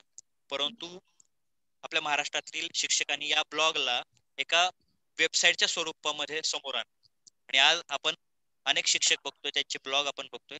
आज त्या ब्लॉगच्या माध्यमातून जी जे काम वेबसाईट करते तेच काम ब्लॉगच्या माध्यमातून करते. परंतु हे सगळं फ्री आहे. परंतु हे फ्री का आहे? त्याचं कारण पण तुम्हाला सांग कारण आपण इथलं कुठलंही डोमेन आपण खरेदी केलेलं नाही. डोमेन म्हणजे काय? एखाद्या वेबसाईटचं नाव विकत घेत त्याला आपण डोमेन म्हणतो. उदाहरण बघा. आपलं डोमेन काय आहे? तर तंत्रस्नेही शिक्षक. बघा इथं. परत एकदा आपलं डोमेन काय ते पण नीट बघा. इथं लक्षात हे आपलं डोमेन आहे. दिशा दर्शक तंत्रस्नेही हे आपलं डोमेन आहे. परंतु त्याच्या पुढे डॉट ब्लॉकस्पॉट डॉट कॉम हे सब डोमेन हे ब्लॉकस्पॉट जर काढायचं असेल ना तर तुम्हाला ते विकत घ्यावं लागेल. म्हणजे आता उदाहरण सांगायचं झालं तर मी माझ्या ब्लॉगचं जर मला डोमेन खरेदी करायचं आहे माझ्याच नावाने ते असायला पाहिजे. मला जर फ्री मध्ये वापरायचं असेल तर मला हे एक्सटेन्शन वाढवावं लागेल. ब्लॉकस्पॉट डॉट कॉम हे एक्सटेन्शन वापरलं तरच मला ते फ्री मध्ये वापरते कारण काय करतो गुगल तुम्ही फ्री मध्ये वापरताय ना तर आमचं हे नाव बाजूला राहू द्या तुमच्याकडे ब्लॉकस्पॉट डॉट कॉम हा. जर तुम्ही विक्समध्ये करायला गेलात विक्स डॉट कॉम तर आपली ही वेबसाईट समजा आपण विक्समध्ये जर तयार केली असती तर काय झाली असती? Dishadarshak Tantrasnehi dot Wix dot com अशी झाली असती. जर आपण हे डोमेन नाही खरेदी केलं तर आपल्याला हे फ्री मध्ये वापरायचं असेल तर हे असं आपल्याला ठेवावं लागेल.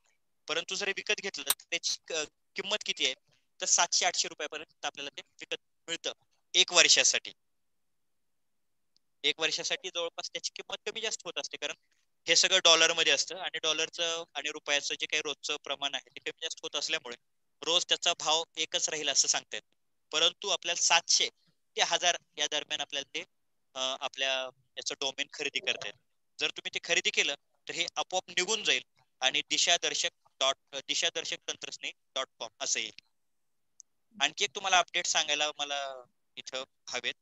आता याच्यापुढे डॉट इन नावाचं एक्सटेन्शन तुम्हाला ब्लॉगला दिसणार. कारण गेल्या महिन्यामध्येच ब्लॉगरने एक गोष्ट म्हणजे घोषणा केली की त्यांनी याच्यापुढे डॉट इन नावाचं एक्सटेन्शन दिसणार. अगोदर कसं असायचं? उदाहरणासाठी आता माझं सांगतो. सृजनशील शिक्षक ब्लॉगस्पॉट डॉट इन असं मी वापरत होतो. परंतु आता ते वापरायला गेलं तर ती वेबसाईट आता कुठेही दिसत नाही. कांट रिच म्हणून दाखवत. कारण तिथपर्यंत पोहोचू शकत नाही. सापडत नाही म्हणून सांगतो. कारण हे एक्सटेन्शन डॉट इनचं एक्सटेन्शन गुगलने बंद केलेलं आहे. आता एक्सटेन्शन कोणतं चालू आहे? डॉट कॉम तर या माध्यमातून आपण फ्री मध्ये आपला ब्लॉग करू शकतो. तुम्हाला वाटलं की नाही आता मला फ्री मध्ये नकोय मला माझ्या नावानेच पूर्ण विकत घ्यायचं आहे तर तुम्ही हे ब्लॉग स्पॉट हे सब डोमेन आहे तर जर काढायचं असेल ते विकत घ्यायचं ते विकत घेण्यासाठी तिथं ब्लॉग वरतीच ऑप्शन असतं तुम्हाला डोमेन विकत घ्यायचं का? इथं सेटिंगमध्ये सुद्धा तुम्हाला बघायला मिळेल काही गोष्टी.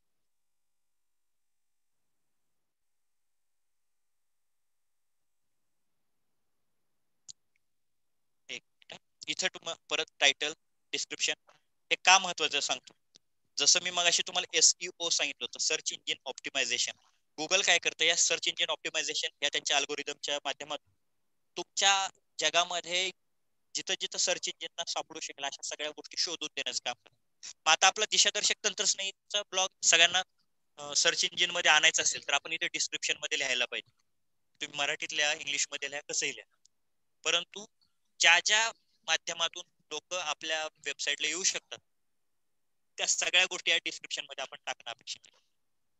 जर तुम्ही त्या टाकल्या तर त्या गोष्टी लगेच सर्च होतील आणि तुमच्या ब्लॉगवरती लोक येतील. मी आता जसं मी तुम्हाला सांगितलं की राजकिरण चव्हाण ब्लॉग जर मी टाकला बघा राजकिरण चव्हाण राजकिरण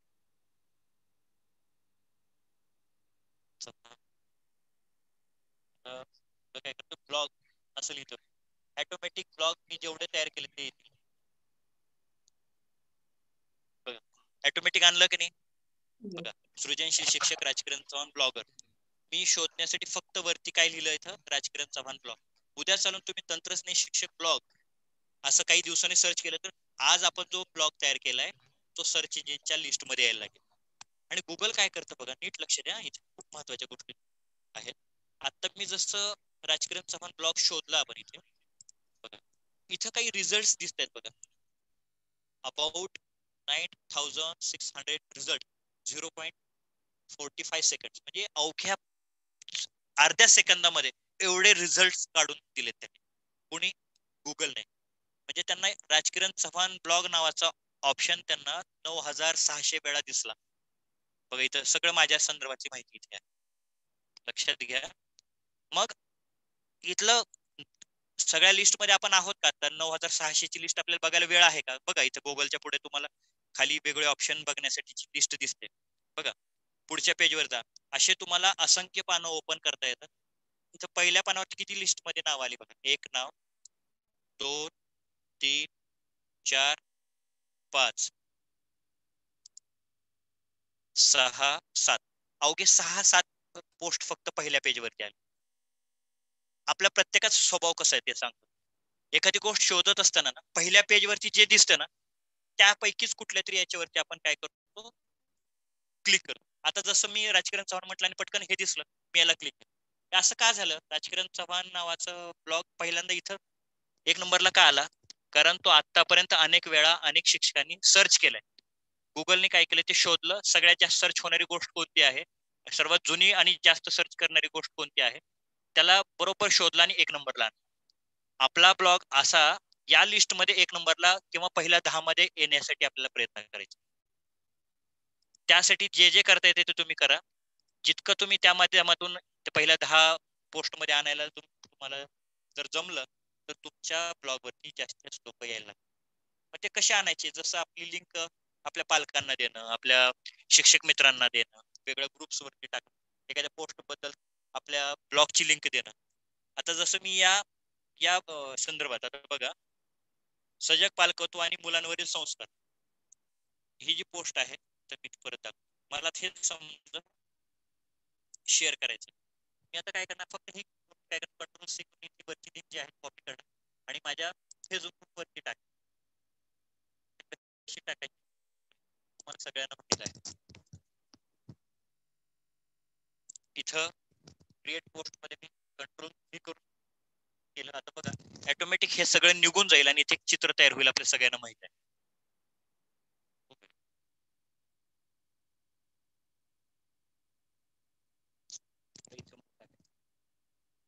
क्रिएट पोस्टमध्ये टाकतोय. कंट्रोल केलं. ऑटोमॅटिक बघा. कॅलिग्राफीचं पोस्टर इथे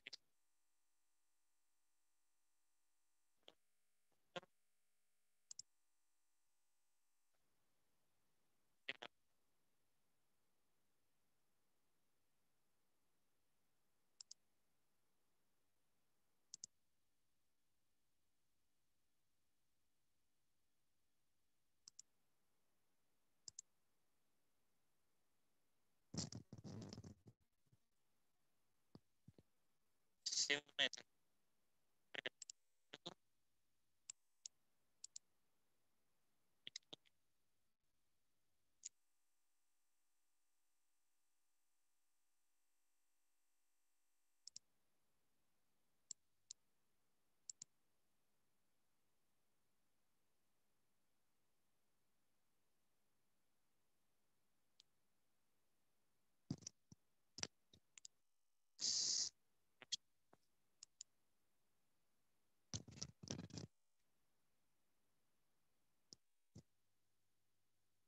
एकदा काही पोस्ट झालं तुम्हाला त्याचं चित्र ऑटोमॅटिक दिसेल. बघा आता मी चित्र टाकलं होतं का? नाही. मी अक्षरधन हे माझं कॅलिग्राफीचा एक नमुना इथं होता. ऑटोमॅटिक त्याने काय केलं? त्याला चित्रामध्ये कन्व्हर्ट केले या क्लिकला आणि याला कुठेही क्लिक करा तुम्ही. डायरेक्ट माझ्या ब्लॉगवर घ्या म्हणजे तुम्ही इथं पण क्लिक करा इथं क्लिक करा किंवा इथं क्लिक करा. आता मी चित्रावरतीच क्लिक करतो. बघा चित्र बघायला मिळेल तुम्हाला. बघा दिसतंय? तर अशा पद्धतीनं तुम्ही वेगवेगळ्या लिंक्स देऊन तुमच्या ब्लॉगवरती लोकांना आणू शकता. जितके लोक तुमच्या ब्लॉगवरती येतील तुमच्या पोस्ट पाहतील तसं तसं ते गुगलच्या नजरेमध्ये यायला लागेल आणि गुगलच्या लक्षात येईल की ही जी वेबसाईट आहे किंवा हा जो ब्लॉग आहे हे खूप लोक बघतात. तर जितके लोक बघायचं याला काम होईल तसं तसं तुमचं हे जे सर्च इंजिन मधलं जे काम आहे आता मी तुम्हाला दाखवलं हे सगळं. इथं पहिल्या दहा मध्ये येण्यासाठी तुमचं काम सुरू झालं असं म्हणायला हरकत म्हणून आपण लक्षात घ्या हे काय येतं? कारण हे सर्च इंजिन ऑप्टिमायझेशन आहे एसईओ आहे. आणि अशा पद्धतीने तुम्ही ब्लॉगमध्ये सगळ्या गोष्टी लोकांना शेअर करून करून करून करून ह्या सगळ्या गोष्टी पहिल्या दहा मध्ये पहिल्या दहा लिस्टमध्ये आणू शकत जर तुम्ही इकडे पुढे गेलात मला सांगा तुम्ही सातव्या नंबरला क्लिक केलं तुम्ही जाल का तेवढं? नाही जाणार. एवढ्या शेवटीपर्यंत जाऊन ती पोस्ट बघण्याचं पेशन्स आपल्या कुणामध्ये पण नाही. हा खरंच एखादी गोष्ट तुम्हाला सापडत नाही तर तुम्ही शोधत शोधत पुढे जाल. परंतु पहिल्या दहा मध्ये जर एखादी गोष्ट सापडली तर पुढच्या गोष्टी तुम्ही शोधणारच नाहीये. म्हणून लोकांनी शोधावं अशा पहिल्या दहा लिस्टमध्ये यावं. यासाठी आपल्याला ती पोस्ट जास्तीत जास्त व्हायरल करणं गरजेचं असतं. अशा पद्धतीने तुम्ही ब्लॉगमध्ये पोस्ट करू शकता पेज तयार करू शकता. एकदा त्यानंतर अर्निंगसाठी तुम्हाला गुगलशी गुगल ऍडसेन्सला लिंक करावं लागेल तुमचं. हा ईमेल आय डी आणि तुमचा ब्लॉकची लिंक या दोन्ही गोष्टी ज्यावेळेस एकदा लिंक झाल्या की ऑटोमॅटिक काही दिवसानंतर गुगल तुम्हाला त्यांच्या ज्या जाहिराती आहेत ते टाकायला लागतं आणि त्याच्यातून तुम्हाला रेव्हेन्यू किंवा तुमचे जे काही उत्पन्न आहेत ते उत्पन्नाचं साधन तुम्ही तयार करू शकता. तर हे अर्निंग झालं पे झाले लेआउट झाले लेआउटमध्ये आता खाली येऊया आपण परत. आता आपण फक्त इथं क्रॉस कॉलम या बाबतीत फक्त विचार केला. ब्लॉकची पोस्ट कशी असावी स्ट्रक्चर कसं असावं ते इथं आहे.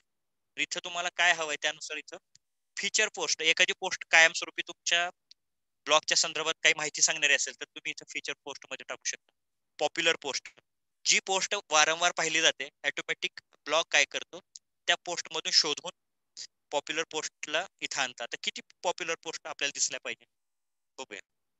इथं विचारतं कधी कधीपासूनच्या? तर लास्ट इयर पासूनच्या जेवढ्या काही पॉप्युलर पोस्ट आहेत ते इथं दिसाव्यात. असं मी सेटिंग केली आता बघूया मी मुळात टाकल्यास दोन आहेत. इथे आपण पाहिजे तितक्या पोस्ट म्हणजे दहा पर्यंत आपण पोस्ट इथं पॉप्युलर पोस्टमध्ये लिस्ट करू शकतो. मग तुम्हाला ऑल टाइम पाहिजे लास्ट इयरच्या पाहिजेत का गेल्या दहा एक सात दिवसातल्या पाहिजेत किंवा गेल्या तीस दिवसापूर्वीचे पॉप्युलर जास्त प्रसिद्ध झालेल्या पोस्ट पाहिजे तुमच्या. तर ते इथं दाखवतो. इथं बघा ऍडसेन्स आहे. ऍडसेन्सचा अर्थ काय? इथून तुम्हाला ऍडसेन्स लावता येतं. या ठिकाणी गुगल तुमच्या ऍड लावणार.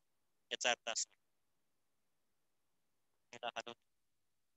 या ठिकाणी दिसतंय तुम्हाला? अशा पद्धतीने. सर्च दिस ब्लॉग एखाद्या ब्लॉग वरती काय शोधायचं असेल तर तुम्ही सर्च दिस ब्लॉगच्या माध्यमातून शोधू शकता.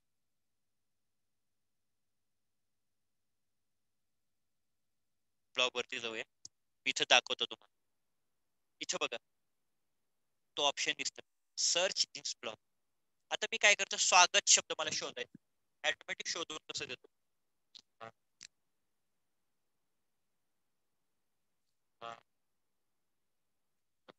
या ब्लॉगवरची एखादी गोष्ट शोधायची मी हलकस स्वागत लिहिलं आणि ते सर्च केलं. ऑटोमॅटिक शोधून स्वागत शब्द बरोबर आणून दिला. कुठे आहे ते शोधून दिलं. बरोबर स्वागत नावाचे काढून. आता असे असंख्य शब्द असतील ज्याच्यावरती लोकांना सर्च करायचं असतं तुमच्या ब्लॉगवरती तर ते तुमच्या पोस्ट अशा पद्धतीनं सुद्धा सर्च करू शकतात. म्हणजे ह्या पद्धतीने आपल्याला आपल्या पोस्ट जास्तीत जास्त लोकांपर्यंत आणतंय आता त्यानंतर ब्लॉगच्या शेवटी जे असतं त्याला फुटर म्हणतात. हे दिसतंय खाली हे फुटर आहे. फुटर इथे तुम्हाला तुमचं नाव टाकतंय. हा ब्लॉग कुणाचा आहे? कशाचा आहे? आता उदाहरणार्थ आपण काय करूया? आपलं दिशादर्शक तंत्रच नाही. हेच नाव आपण इथं फुटरला टाकू. चला कसं टाकायचं. फुटरला आलो फुटर आहे इथे. फुटरला मी इथं ऍट्रिब्युशनमध्ये जातोय एडिट करतोय.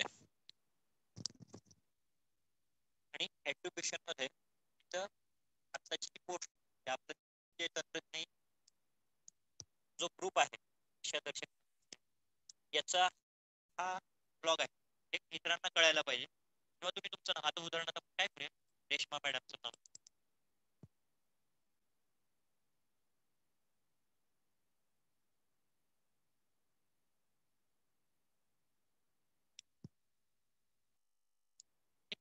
तर आता रेश्मा शेख हे नाव इथं आपल्याला खाली दिसणार आहे. बघूया कसं दिसतंय. इथं तुम्ही प्रिव्ह्यू करू शकता. आणि प्रिव्ह्यू करून खाली फुटरला आलो आपण. दिसतंय? अशा पद्धतीनं हा जो काही ब्लॉग आहे तुमचा आहे किंवा तुमचा मोबाईल नंबर सुद्धा तुम्हाला इथं देता येऊ शकतो. असं इथं हे फुटर तुम्हाला चेंज करता येऊ शकतो. मला हवं ते नाव तुम्ही इथं टाकू शकता. काही अडचण नाही. जे हवं नाव तुम्ही टाका. त्याला फुटर म्हणतात. जे सगळ्यात शेवटी असतं त्याला फुटर म्हणतात. आणि वरती हे सगळे जे आहेत ते टॅब आहेत. पेज तुम्हाला हवे तितके टॅब तुम्ही इथे वाढवू शकता.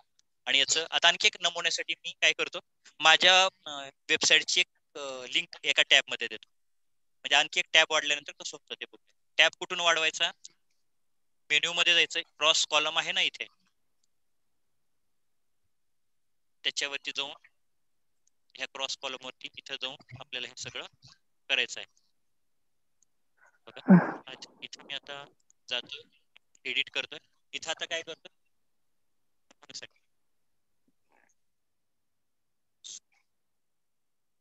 सुरू आणि याला काय करतो? माझ्या वेबसाईटने लिंक कुठं आहे?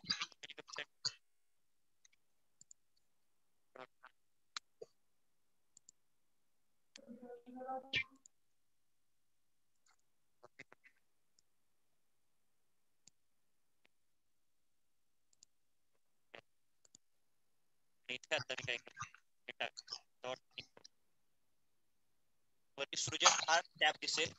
आणि त्याला मला ऍड करायचं ऍड लिंकला क्लिक केलं की ऍड होईल. बघा लिस्टमध्ये तिसरा ऑप्शन आला. तिसरा टॅब आला. परंतु हा एक नंबरला आलाय. याला आपल्याला तीन नंबरला ठेवायचं. परत तिथं डाऊन एरोला क्लिक करत खाली खाली या. असं. आणि सेव्ह करा. आता तिसरा टॅब पण तुम्हाला तुमच्या ब्लॉग वरती दिसणार आहे. बघूया आता कसं दिसतो. याला थोडं झूम आउट करतो. आणि कंट्रोल आर करतो. कंट्रोल आर चा अर्थ काय? रिलोड पेज बघा. पहिलं आलं होम दुसरं आलं पेज तिसरं आलं सृजन. आलं की नाही? आता याला क्लिक केल्यानंतर वेबसाईट ओपन झाली पाहिजे. मग अशी आपण लिंक ऍड केलेली आहे. याला हलकं टच करतोय मी. बघा माझ्या ब्लॉग वरती माझ्या वेबसाईट वरती नाही आलं की नाही? ऑटोमॅटिक तुम्हाला या पेज वरती नेता आलं. कशातून? तुम्हाला ते टॅब वाढवून.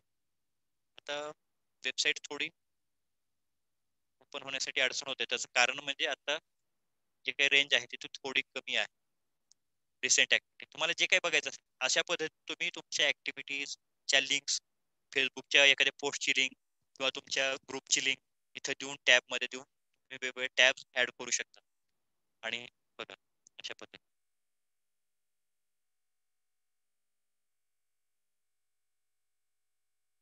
असे वेगवेगळे गोष्टी तुम्हाला या टॅबच्या माध्यमातून ऍड करता येईल ठीक आहे. मला वाटतं बऱ्यापैकी तुम्हाला ह्या गोष्टी कळल्या असतील. मेनू बार म्हणजे मेनूचं कॉलम कसे जोडायचे त्याच्यामध्ये मेनू कसे ऍड करायचे पोस्ट कशी तयार करायची त्यानंतर या ब्लॉगचं स्ट्रक्चर कसं बदलायचं स्ट्रक्चर आपल्याला लेआउट मधून बदलायचं असतं. तुम्हाला पाहिजे तसं तुम्ही स्ट्रक्चर घेऊ शकता. याला ड्रॉप अँड ड्रॅग असं करू शकता. आता उदाहरणार्थ तुम्हाला सर्चचा जो ऑप्शन होता इथे कुठं दिसतोय बघा? इथे दिसतोय या बाजूला. तो इकडे आणायचा इकडे. तो कसा आणायचा बघा? तर हा सर्च बॉक्स मला इथं आणायचा ड्रॅग केला इथं ड्रॉप केला. आणि इथं खालच्या बाजूला सेव्हचा ऑप्शन आहे याला क्लिक करा. क्लिक केल्यानंतर व्ह्यू ब्लॉगला जाऊया आपण. इथं आता व्ह्यू ब्लॉगचं ऑप्शन येईल. बघा. दोन सेकंद लागतील आलं. व्ह्यू ब्लॉगला क्लिक करा. आता सर्चचं जे ऑप्शन होतं ते इकडं होतं. इथून निघून कुठं आलं? डाव्या बाजूला म्हणजे तुम्हाला तुमच्या या प्रत्येक गोष्टीची अरेंजमेंट करता येते आणि तुमचा ब्लॉग सजवता येतो. अशा पद्धतीने तुम्ही तुमचा ब्लॉगचा लेआउट चेंज करू शकता या लेआउटच्या माध्यमातून. आणि हवे तितक्या गोष्टी इथं ऍड करू शकता. हवे तितक्या गोष्टी तुम्हाला गॅझेट इथे ऍड करता येतात. अनेक गोष्टी तुम्हाला इथं गॅझेट वरती क्लिक करून पाहिजे तिथे तुम्ही इथं करू शकता. ऍडसेन्स आहे ब्लॉग सर्च आहे प्रोफाईल आहे. आर्काईव्ह आहे ब्लॉग आर्काईव्ह ब्लॉग आर्काईव्ह म्हणजे काय? तर आपला ब्लॉग जसा जसा जुना होतो तसं तसं ते सगळ्या फाईल एका ठिकाणी याव्या. आर्काईव्ह हवं त्याची फाईल त्यासाठीच हा गॅझेट आहे. त्याचबरोबर फॉलोअर्स तुमच्या ब्लॉगला जे फॉलो करतील त्यांच्यासाठी हा आपण गॅझेट ऍड करू शकतो. फॉलोअर्स कशासाठी? जे लोक तुमच्या ब्लॉगला फॉलो करतात त्या लोकांना ज्यावेळेस तुम्ही एखादी गोष्ट नव्यानं तुमच्या ब्लॉगवरती अपडेट करता ॲटोमॅटिक त्यांच्या ईमेल वरती तुमच्या ब्लॉगचं नोटिफिकेशन जातं.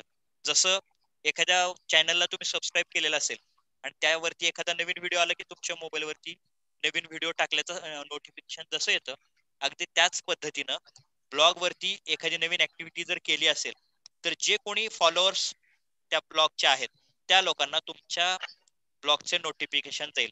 त्यामुळे तुम्हाला स्वतः कुठलीही वेगळी गोष्ट करायची गरज नाही. जे जे लोक आहेत त्यांना ऑटोमॅटिक ब्लॉग काय करेल? नोटिफिकेशन पाठवून देईल. अशा पद्धतीने आपल्याला ह्या ब्लॉगर ह्या फॉलोअर्स या गॅजेटचा उपयोग करतात लिंक लिस्ट आहे टेक्स्ट आहे पॉप्युलर पोस्ट आहे तुम्हाला हवे तेवढं. या ब्लॉगला किती लोकांनी पाहिलं आतापर्यंत? ते सुद्धा बघता येतं. आता मी तर टाकतो बघा. मीच आता दोन चार वेळा बघितले ना तर आपल्याला बघता येतं की किती लोकांनी बघितलं. कशा पद्धतीनं पाहिजे तुम्हाला? आकड्यामध्ये पाहिजे किंवा असा आलेख पाहिजे का? तर मी आता काय करतो? आलेख आणि हे दोन्ही घे. आणि असं दिसतंय का बघूया आता सेव्ह केलं. टोटल व्ह्यू आपल्याला आता बघायला मिळते माफ करा.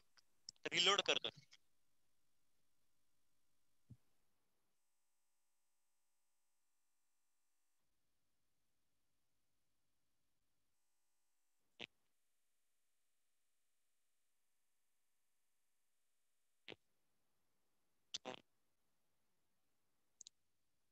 हा इथे बघा. डाव्या माफ करा. उजव्या बाजूला टोटल पेज व्ह्यू आणि पुढे लिहिले सेवन कारण मी आता तुम्हाला शिकवत असताना सात वेळा हे पेज ओपन केलं. त्यामुळं जितक्या वेळा ह्या पेजला व्हिजिट दिली गेली आहे हे कळतं. जितक्या वेळा लोक या पेजला बघतील तितक्या वेळा इथं आपल्याला हा आकडा एक एकने वाढतात दिसतो आता मीच परत एकदा कंट्रोल आर म्हणजे रिलोड केलं तर परत ह्या सातच्या ऐवजी आठ होईल. बघा एकच मिनिट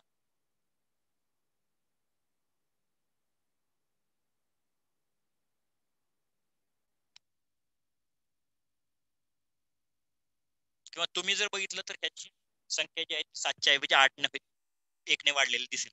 अशा पद्धतीने तुम्हाला तुमच्या ब्लॉगला किती जणांनी व्हिजिट दिली आतापर्यंत? किती वेळा व्हिजिट दिली? हे सगळं बघायला मिळतं. या सगळ्या सेटिंग मधून तुम्हाला सगळ्या गोष्टी दिसतात. हे सगळं आहे. खूप डिटेल्समध्ये सांगायचं म्हटलं तर आपला वेळ पूर्ण नाही. आता जवळपास आपण दीड तासापेक्षा जास्त वेळ झालेला आहे की आपण या सगळ्या गोष्टी शिकण्याचा प्रयत्न करतोय. आणि मला वाटतं बऱ्यापैकी ब्लॉग सुरू करण्यासाठी जे जे दोन गोष्टी आवश्यक आहेत. त्या तुम्ही करू शकता. मी मगाशी तुम्हाला म्हटलं की मी भरपूर सारे ब्लॉग तयार केलेले आहेत. आता उदाहरणार्थ काही ब्लॉग इथे दाखवतो. शालेय गीत संस्कार. एका याच्यावरती वेगवेगळे ब्लॉग तयार केले. आता गीत संस्कार. शाळेतल्या परिपाठावर आधारित हा ब्लॉग मी तयार केला होता. तो बघा. Simple simple. तुम्हाला फक्त पसायदान प्रतिज्ञा राष्ट्रगीत. आता राष्ट्रगीत आहे. हे कांट ट्रीच दाखवते. बघा तुम्ही इथे नीट लक्ष द्या असं का दाखवतोय? मागाशी मी त्याचं उत्तर तुम्हाला दिलेलं आहे. शालेय गीत डॉट ब्लॉकस्पॉट डॉट इन लिहिलंय. इनचं एक्सटेन्शन गुगलने बंद केलंय म्हटलं. मग आता काय करायचं? तर आपण याला आयडिया करूया. या इनच्या ऐवजी कॉम लिहूया. मी याला कट करतो. वरती बघा नीट लक्ष द्या वरती इन कट करतोय या ठिकाणी.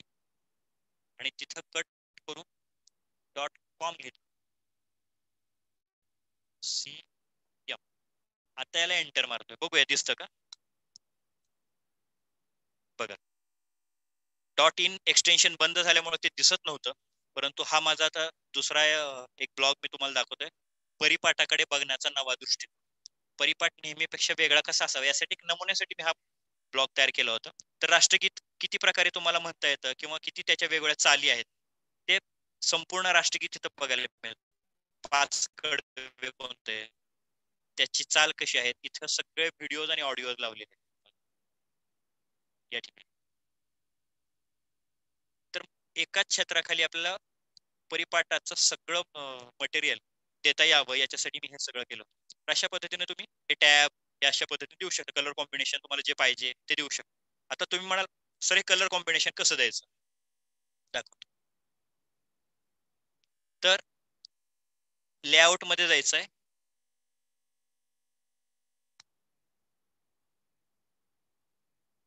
लेआउटमध्ये गेल्यानंतर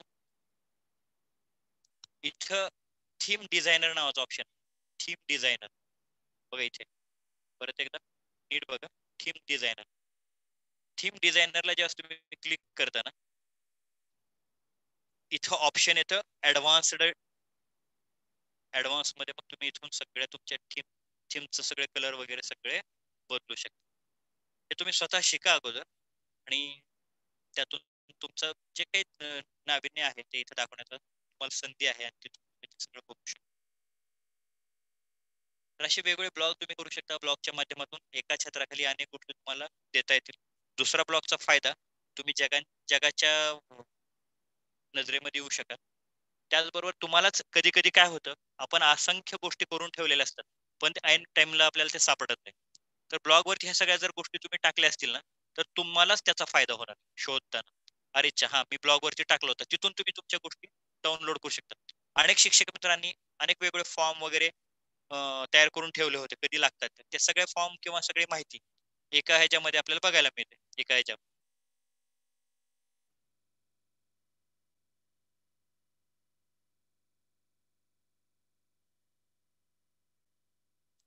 आता इथं माझे काही लेख आहेत ते तुम्हाला दाखवतो.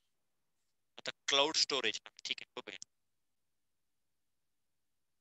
तर इथं काय केलं बघा मी? लोड मोअर करतोय. कुठलीही पोस्ट करत असताना ती लोकांच्या नजरेत जर यायची असेल तर त्याला काही काही गोष्टी आपल्याला देता आल्या पाहिजे.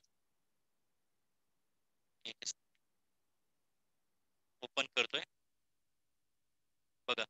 वरती याला नाव देणं महत्वाचं आहे.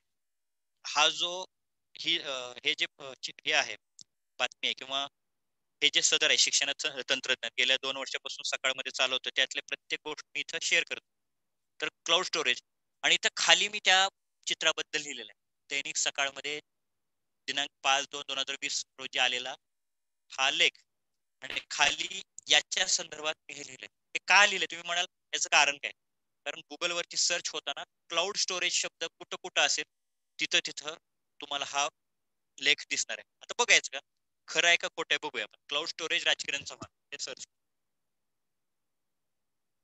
मी टॅब ओपन करतोय. बरोबर. क्लाउड स्टोरेज राजकिरण चव्हाण यांचा लेख. किंवा नुसतं क्लाउड स्टोरेज राजकिरण चव्हाण. असेल गुगल सर्च करून दे बघा इथं आलं. तुम्हीच बघा. इथं आलं. इथं सांगतंय राजकिरण चव्हाणचा एक ब्लॉग आहे. त्याच्यावरती क्लाउड स्टोरेजची माहिती बघायला मिळेल तुम्हाला.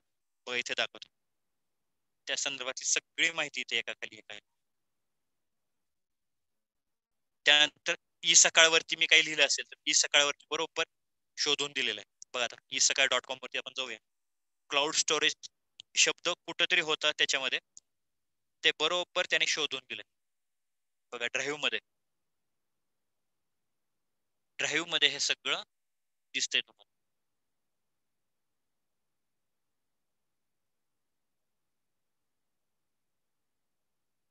इथे स्टोरेजचा कुठेतरी ऑप्शन दिसणार. आणि त्यामुळे हे गुगलने आपल्याला सर्च करून दिलेलं आहे. बघा क्लाउड इथे दिसतंय का बघा? इथं क्लाउड शब्द आहे. क्लाउड आधारित स्टोरेज गुगलने काय केलं? सकाळवरती गेला आणि क्लाउड स्टोरेज नावाचा शब्द बरोबर त्यातला शोधून काढला आणि लिस्टमध्ये त्याचं नाव दिले आपण स्वतः गेलो का शोधायला गुगलला म्हणजे आपण शोधला का सकाळवरती जाऊन? नाही. गुगलच्या अल्गोरिदमने काय केलं? ते शोधून दिलं. ॲटोमॅटिक ती फा- जी काही पोस्ट आहे माझी जी काही माझा जो लेख आहे आता जून चार मधला हा लेख आहे तो लेख बरोबर शोधून दिला. कारण हा जुना आहे त्यामुळे लगेच शोधून जसं जसं तुमचे पोस्ट तुमचे ह्या सगळ्या गोष्टी जुन्या होत राहतील तशा तशा गुगलच्या लिस्टमध्ये वरच्या बाजूला यायला लागतील. तर अशा पद्धतीने आपल्याला ब्लॉगवरती ह्या सगळ्या गोष्टी पोस्ट करायच्या आहेत. मला वाटतं आपल्याला नेमकं ब्लॉग काय आहे? त्या ब्लॉगचा उपयोग कसा करायचा? ब्लॉग कसा तयार करायचा? आणि त्यासाठी कोणत्या कोणत्या गोष्टीची आवश्यकता आहे? आणि त्याचे फायदे काय? सगळ्या गोष्टीची मला वाटतं माहिती कळाली असणार आहे.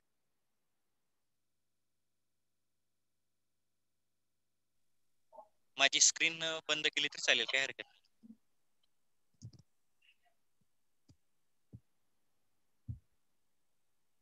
दिशादर्शक तंत्रस्नेही चळवळीच्या येस सर दिशादर्शक तंत्रस्नेही चळवळीच्या माध्यमातून आजचा दिवस खरोखरच खूप भाग्याचा समजूया. आणि आपल्याबरोबर राजकिरण सर होते ज्यांनी आपल्याला खूप सखोल माहिती दिलेली आहे ब्लॉगच्या संदर्भात. आणि मी सर्व शिक्षकांना आवाहन करू इच्छिते सरांच्या ब्लॉगला सर्वांनी भेट द्या जेणेकरून ज्या काही तुम्हाला अडचणी असतील किंवा ज्या काही असतील, त्या शिकण्यासाठी सरांचा ब्लॉग आपल्या सर्वांना उपयोगी ठरणार आहे. आणि राजकिरण सर आपला सृजनशील शिक्षक नावाने जो किंवा आपल्या नावाने जो ब्लॉग आहे तो सर्वजण फॉलो करतील निश्चितपणे. आणि आजची जी माहिती दिलेली आहे अतिशय सखोल माहिती सरांनी दिलेली आहे. निश्चितपणे काहींना जर तर ते प्रत्यक्ष विचारू शकतात. किंवा चॅटबॉक्समध्ये मला नाही वाटत कोणाला प्रश्न पडलेला आहे.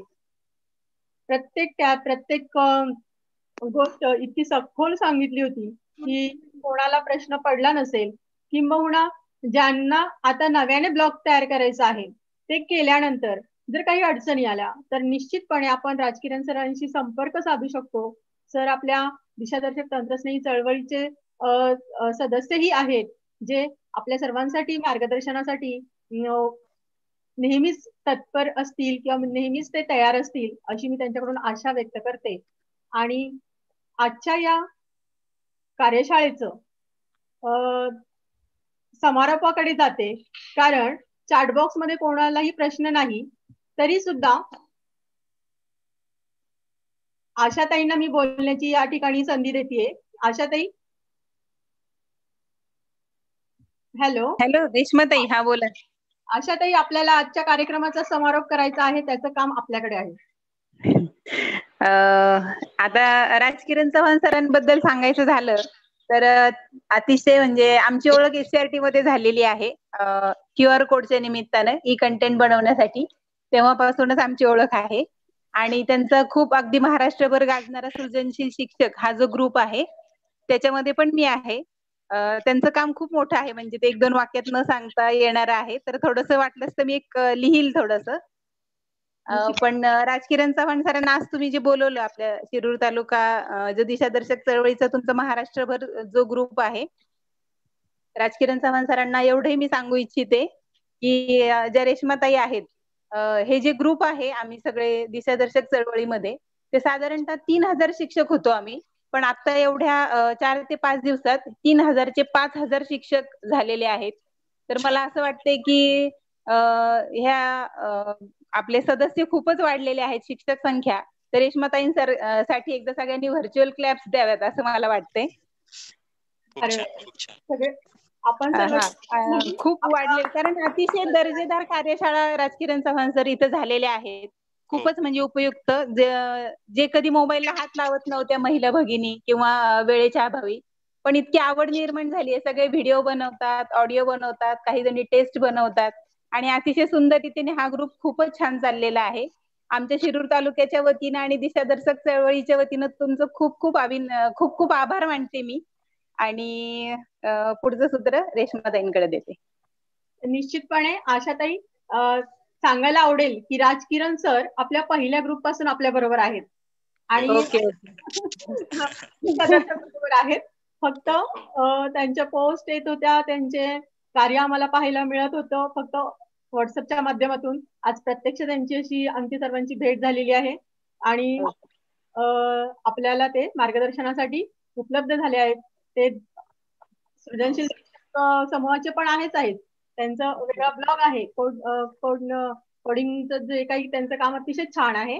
परंतु ते दिशादर्शकचे पण आहेत. हे विसरायला काही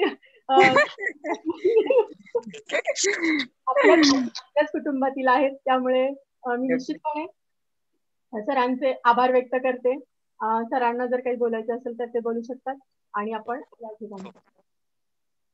प्रथमतः रेश्मा मॅडम आपलं मनापासून आभार की तुम्ही मला आजच्या या ऑनलाईन आपल्या वेबिनार म्हणूया किंवा आपली ऑनलाईन मीटिंग म्हणूया किंवा आपली झूम मीटिंग म्हणूया या माध्यमातून आपल्या सर्व शिक्षकांना जोडण्याची संधी दिली. आणि खूप छान पद्धतीने तुमचं काम चाललंय. आता जसं आशा म्हणाली आता आम्ही तर एकमेकाला आरोतोरेमध्येच बोलतोय. हो. राज म्हणते मी तिला आशा. तर आम्ही अनेक दिवसांपासून तर एकत्र आहोतच आहे. परंतु हे सगळं करत असताना रेश्मा मॅडमचं पण काम मी जसं या ग्रुपमध्ये आहे तसं मी बघतोय. त्यांची नेहमी धडपड असते की या ग्रुपच्या माध्यमातून शिक्षकांनी राज्याला दिशादर्शक ठरावा असं तंत्रज्ञानी शिक्षक कसे होतील? कारण वाटतं तितकी सोपी गोष्ट नाही. कारण काय? एक दिवस करणं आणि दुसऱ्या दिवशी सोडून देणं याला आपण तंत्रज्ञानी शिक्षकातली काय म्हणतो आपण एकाग्रता म्हणता येणार नाही. त्याला सातत्यानं आपल्याला काम करणं गरजेचं आहे. आज काही शिकलं तर उद्या काय नवीन शिकणार आहोत? नवं ते हवं. या सगळ्या गोष्टीचा जर आपण ध्यास ठेवला तर नक्कीच आपण आपल्या आयुष्यामध्ये पुढे जाऊ. कारण लक्षात घ्या की तुम्ही जर मार्च महिन्याच्या अगोदर स्वतःला न्या आणि असं कोणीतरी तुम्हाला विचारलं असतं की उद्यापासून आपल्या शाळा बंद असतील येत्या सहा महिन्यामध्ये आपल्याला शाळेमध्ये मुलांना भेटता येणार नाही तर आपल्याला सगळ्यांनी वेड्यात काढलं असतं. परंतु अशा संकटांना आपल्याला अगोदरच तयार राहणं अपेक्षित होतं. आणि हे असं संकट आल्यानंतर आपण कसं तयार असायला पाहिजे? याचा विचार करत असताना लक्षात आलं की शिक्षकांनी त्यासाठी स्वतःला झोकून देऊन ह्या सगळ्या गोष्टी शिकणं गरजेचं आहे. इथं वय मॅटर करत नाही.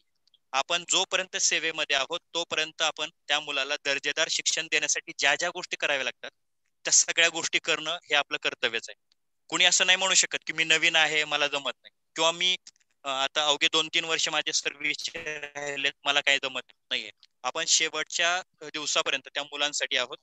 त्यामुळं भलेही तुमचा त्या शिकण्याचा फायदा समजा शेवटी शेवटी मुलांना होत नसेल परंतु तुमच्या नंतर घरातल्या मुलांना किंवा तुम्हाला स्वतःला शिकण्यासाठी होईल किमान आपला स्वतःचा त्यामध्ये म्हणजे फायदा होईल ह्या दृष्टिकोनातून पहिल्यांदा विचार करा. ऑटोमॅटिक तुमच्या लक्षात येईल हे तंत्रज्ञान किती उपयुक्त आहे. परंतु हे सगळं करत असताना एक चेतावणी किंवा एक इशारा म्हणतो ना आपण तर तो देऊ शकतो. इच्छितो की तंत्रज्ञानाचं महत्त्व हे आपण तितकंच ठेवायचं जितकं आपल्या अन्नामधल्या मिठाचं आहे. मीठ नसेल तरी जेवण आळणी राहतं आळणी बनतं आणि मीठ जास्त असेल तर ते जेवण खाण्यालायक राहतं. म्हणून या तंत्रज्ञानाचा आपल्याला सुयोग्य पद्धतीने जिथं आवश्यक आहे तिथं त्याचा उपयोग करता आला तर आपण खऱ्या अर्थाने तंत्रस्नेही झालो असं. जर आपण वारंवार एखादी गोष्ट करत असतो आता तुम्हाला तो अनुभव आला असेल की आता आपण ऑनलाईन पद्धतीने मुलांना अभ्यास देतोय परंतु एक वेळ अशी येते की मुलांचा पलीकडून आपल्याला प्रतिसाद मिळत नाही. कारण एखादी गोष्ट कितीही चांगली असली ना तर त्याला एका मर्यादेपर्यंत त्याचा स्वीकार केला जातो. जसं आपल्याला गुलाबजामुन आवडत असेल तर आपण गुलाबजामुन एका लिमिट पर्यंत खातो त्यानंतर त्याची इच्छा आपली मरून जाते. अगदी त्याच पद्धतीनं या मुला या ऑनलाईन पद्धतीचं जे काही विचार आहेत ते कुठेही कमी होतील इतकं आपल्याला त्यांना त्याचा भडीमार नाही करायचा. त्यांना आवश्यक तितकंच आपल्याला देणं अपेक्षित आहे. आणि मी तर एक तंत्रज्ञ शिक्षक या नात्याने आपल्याला ते सांगेन की मी कधीही म्हणणार नाही की तंत्रज्ञानच बेस्ट आहे. तंत्रज्ञानाला पर्यायच नाही असं कधीच म्हणणार नाही. जसं प्रत्यक्ष चालण्याचं महत्त्व हे कधीच कमी होऊ शकत नाही. किती जरी तंत्रज्ञानामध्ये बदल झाला ना प्रत्यक्ष चालण्याचं जो महत्त्व आहे ते व्यायामाचं जे महत्त्व आहे ते स्वतः कृती करण्यातून जितकं बरोबर आहे तितकं ते व्हर्च्युअली होऊ शकणार. म्हणजे प्रत्यक्ष मुलांना शिकवण्यात जो आनंद आहे त्यातून त्याला जे कळणार आहे त्याला तोडच नाही परंतु आज अशी कंडिशन आहे की आपण सोशल डिस्टन्सिंग असेल किंवा कोरोनाच्या काळात शाळा बंद असतील त्यावेळेस आपण हातावर हात ठेवून आपलं पूर्णपणे शिक्षण प्रक्रिया बंद ठेवून हेही चालणार म्हणून ऑनलाईन पद्धतीने थोडं थोडं का होईना आपल्याला तंत्रज्ञानाच्या माध्यमातून मुलांपर्यंत पोहोचणं तितकंच आवश्यक आहे. आजच्या या कार्यशाळेसाठी किंवा आजच्या या सगळ्या मीटिंगसाठी आपण सगळेजण खूप छान पद्धतीने प्रतिसाद दिला. मला अनपेक्षित असा प्रतिसाद वाटला. आणि अनेकांना प्रश्न पडले असतील परंतु मला असं वाटतं त्यांच्या प्रश्नांची उत्तरं पुढे पुढे मिळाली असतील असं समजून आपण चॅटबॉक्समध्ये काही लिहिलं नसेल अशी मला अपेक्षा आहे.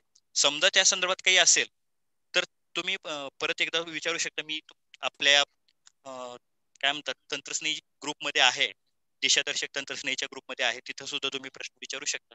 माझ्या कडून जितकं मला सांगता येईल तेवढं सांगण्याचा मी प्रयत्न करेन. आणि असेच उपक्रम यापुढेही रेश्मा मॅडम यांनी आयोजित करावे असं त्यांना या निमित्तानं आवाहन करतो. धन्यवाद. धन्यवाद सर. अतिशय अमू अमूलाग्र असे विचार सरांचे ऐकून प्रत्येक शिक्षक भारावून गेलेला असणार आहे. निश्चितपणे की ऑनलाईन ऑनलाईन आपण म्हणतो हे काही शंभर टक्के योग्य आहेच असं नाही. ज्यावेळेस शिक्षक प्रॅक्टिकली विद्यार्थ्यांबरोबर असतो त्याच वेळेस विद्यार्थ्यांची शिक्षण प्रक्रिया शंभर टक्के चांगली घडते याचा अनुभव आता आपल्याला सर्वांना येत आहे. परंतु कोरोना कोविड हे संकट आहे आणि या कालावधीमध्ये आपल्याला विद्यार्थ्यांपर्यंत पोहोचण्याचा मार्ग ऑनलाईन शिक्षण आहे. म्हणून आपण सर्वजण वेगवेगळ्या तंत्रज्ञानाची माहिती करून घेत आहोत. प्रत्येक शिक्षकाला प्रत्येक विद्यार्थ्यापर्यंत पोहोचण्यासाठी हे ही तंत्रज्ञान माहिती असणं तितकंच महत्वाचं आहे. आणि म्हणून आपण कार्यशाळांचं आयोजन करतो. ज्या कार्यशाळांमधून प्रत्येक शिक्षकाला तंत्राबद्दल स्नेही व्हायचंय तंत्राची आवड निर्माण करून घ्यायची आहे आणि विद्यार्थ्यांपर्यंत वेगवेगळ्या माध्यमातून पोहोचायचं आहे. म्हणून आजची जी कार्यशाळा संपन्न झाली राजकिरण सरांनी या ठिकाणी त्यांचा बहुमोल वेळ दिला आणि अतिशय बारीक सारीक गोष्टी ब्लॉग निर्मितीच्या बाबतीतल्या आपल्या सर्वांना समजावून दिल्या. त्याबद्दल त्यांचे आभार. तसेच दिशादर्शक तंत्रस्नेहीमधील सहभागी झालेले सर्व शिक्षकांचे पण आभार आणि युट्यूब चॅनलवर पाहणाऱ्या सर्व शिक्षकांचे पण आभार. यानंतर मी आजची कार्यशाळा या ठिकाणी संपन्न झाली समाप्त झाली असे जाहीर करते आणि सर्वांना धन्यवाद देते.